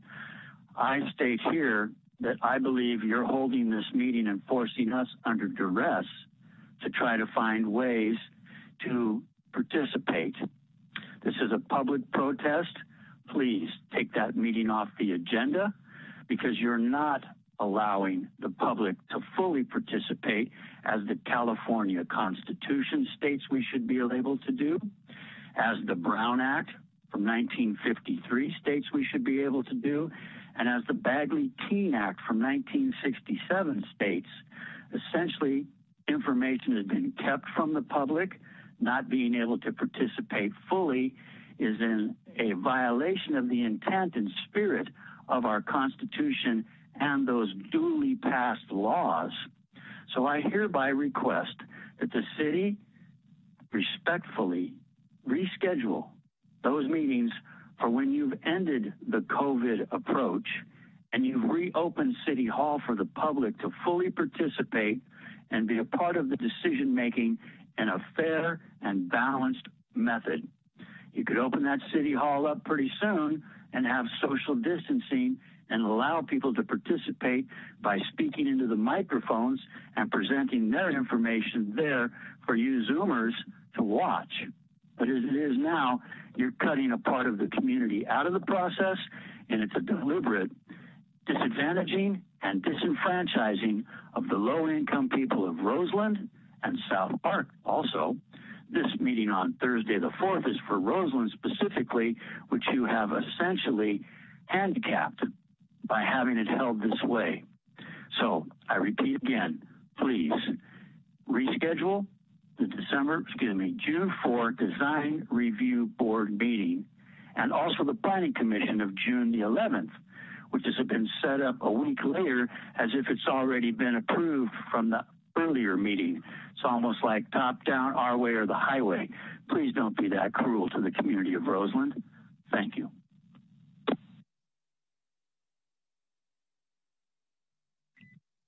Good afternoon. This is Colleen Fernald. I'm commenting on general public comment on non-agenda items.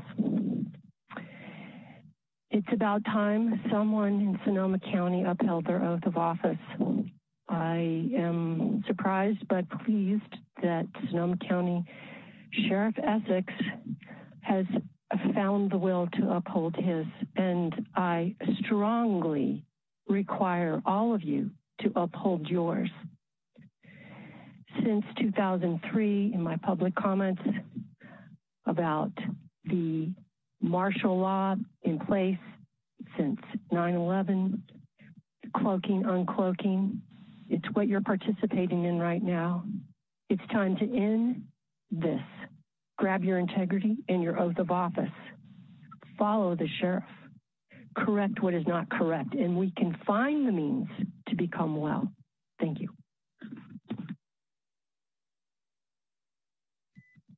Hi, this is Kim Schroeder, Santa Rosa resident, and this is for agenda item number 13. Um, I do not want a close proximity cell tower in my neighborhood, near my workplace, or near my kids' schools, exposing us to high levels of radio frequency microwave radiation, a known carcinogen and neurotoxin. 5G cells and battery systems increase the high fire danger we already face. Cell tower antennas caused the major Malibu fire and have caused fires elsewhere. It is proven that our property values go down when a cell tower is installed nearby. Some of our residents have moved after learning one was installed or was planned to be installed nearby. Science has proven biological harm over and over again by credible, peer-reviewed Supreme Court admissible studies, not the studies funded by the telecoms. Telecoms and the FCC are ignoring the science. But the reality is that the telecoms have and will continue to pay out for lawsuits related to alleged health effects as disclosed in their financial statements. An example is Verizon's most recent 10K filing published February 21st, 2020. This report was submitted to you and admitted to public record recently. I asked the city to develop an emergency ordinance like many cities in California have done, including our neighboring cities, protecting neighborhoods and other sensitive institutions from harm. Not only will this help protect our residents, including all of you, it will help to minimize our city from many lawsuits and declining property values and fire hazards.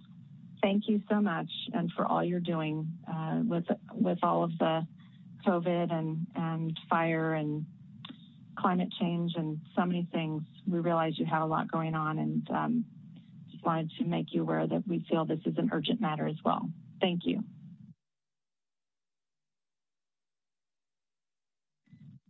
This is Catherine Dodd. It's 501. I apologize. I was trying to get a password to paste this in the comments.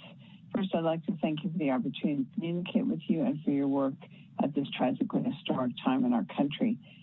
At your meeting in December, one of you requested real medical effects, real information on the medical effects of radio frequency radiation. And I encourage you to follow up with Cindy Russell, who's the president of the Santa Clara Medical Society and founder of Physicians for Safe Technology. Um, please allow her more than three minutes to present what are thousands of peer-reviewed scientific journal articles. Second, with regard to the budget, please take into consideration that research from the National Association of Realtors has documented the property value decreases for homes near cell towers. Our property value is already jeopardized by fire risk, which also is caused sometimes by cell towers. But please don't add another source of valuation, uh, wireless facilities in our neighborhoods. When property values decrease, the city's tax revenue decreases too. Thanks for your consideration. I can be reached at 707-595-3769. I live at 5259 Carriage Lane in Santa Rosa, 95403. Thank you.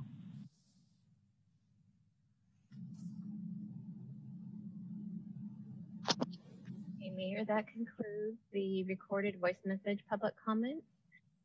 We are going to move on to the email and e-comment uh, reading into the record that we received.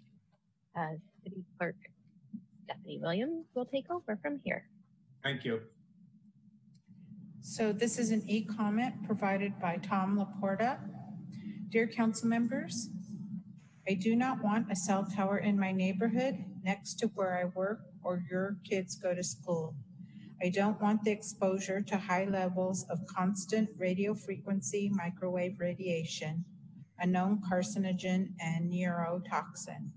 Over 10,000 peer-reviewed scientific studies prove biological harm from radio frequency radiation. The FCC still has their heads in the sand, even though the evidence of harm is overwhelming. Even Russia and China have stricter exposure guidelines than we do. Property values will also be negatively affected, and when property tax revenues fall, we all suffer. Thank you for your consideration in this matter. And that concludes email and e-comments provided.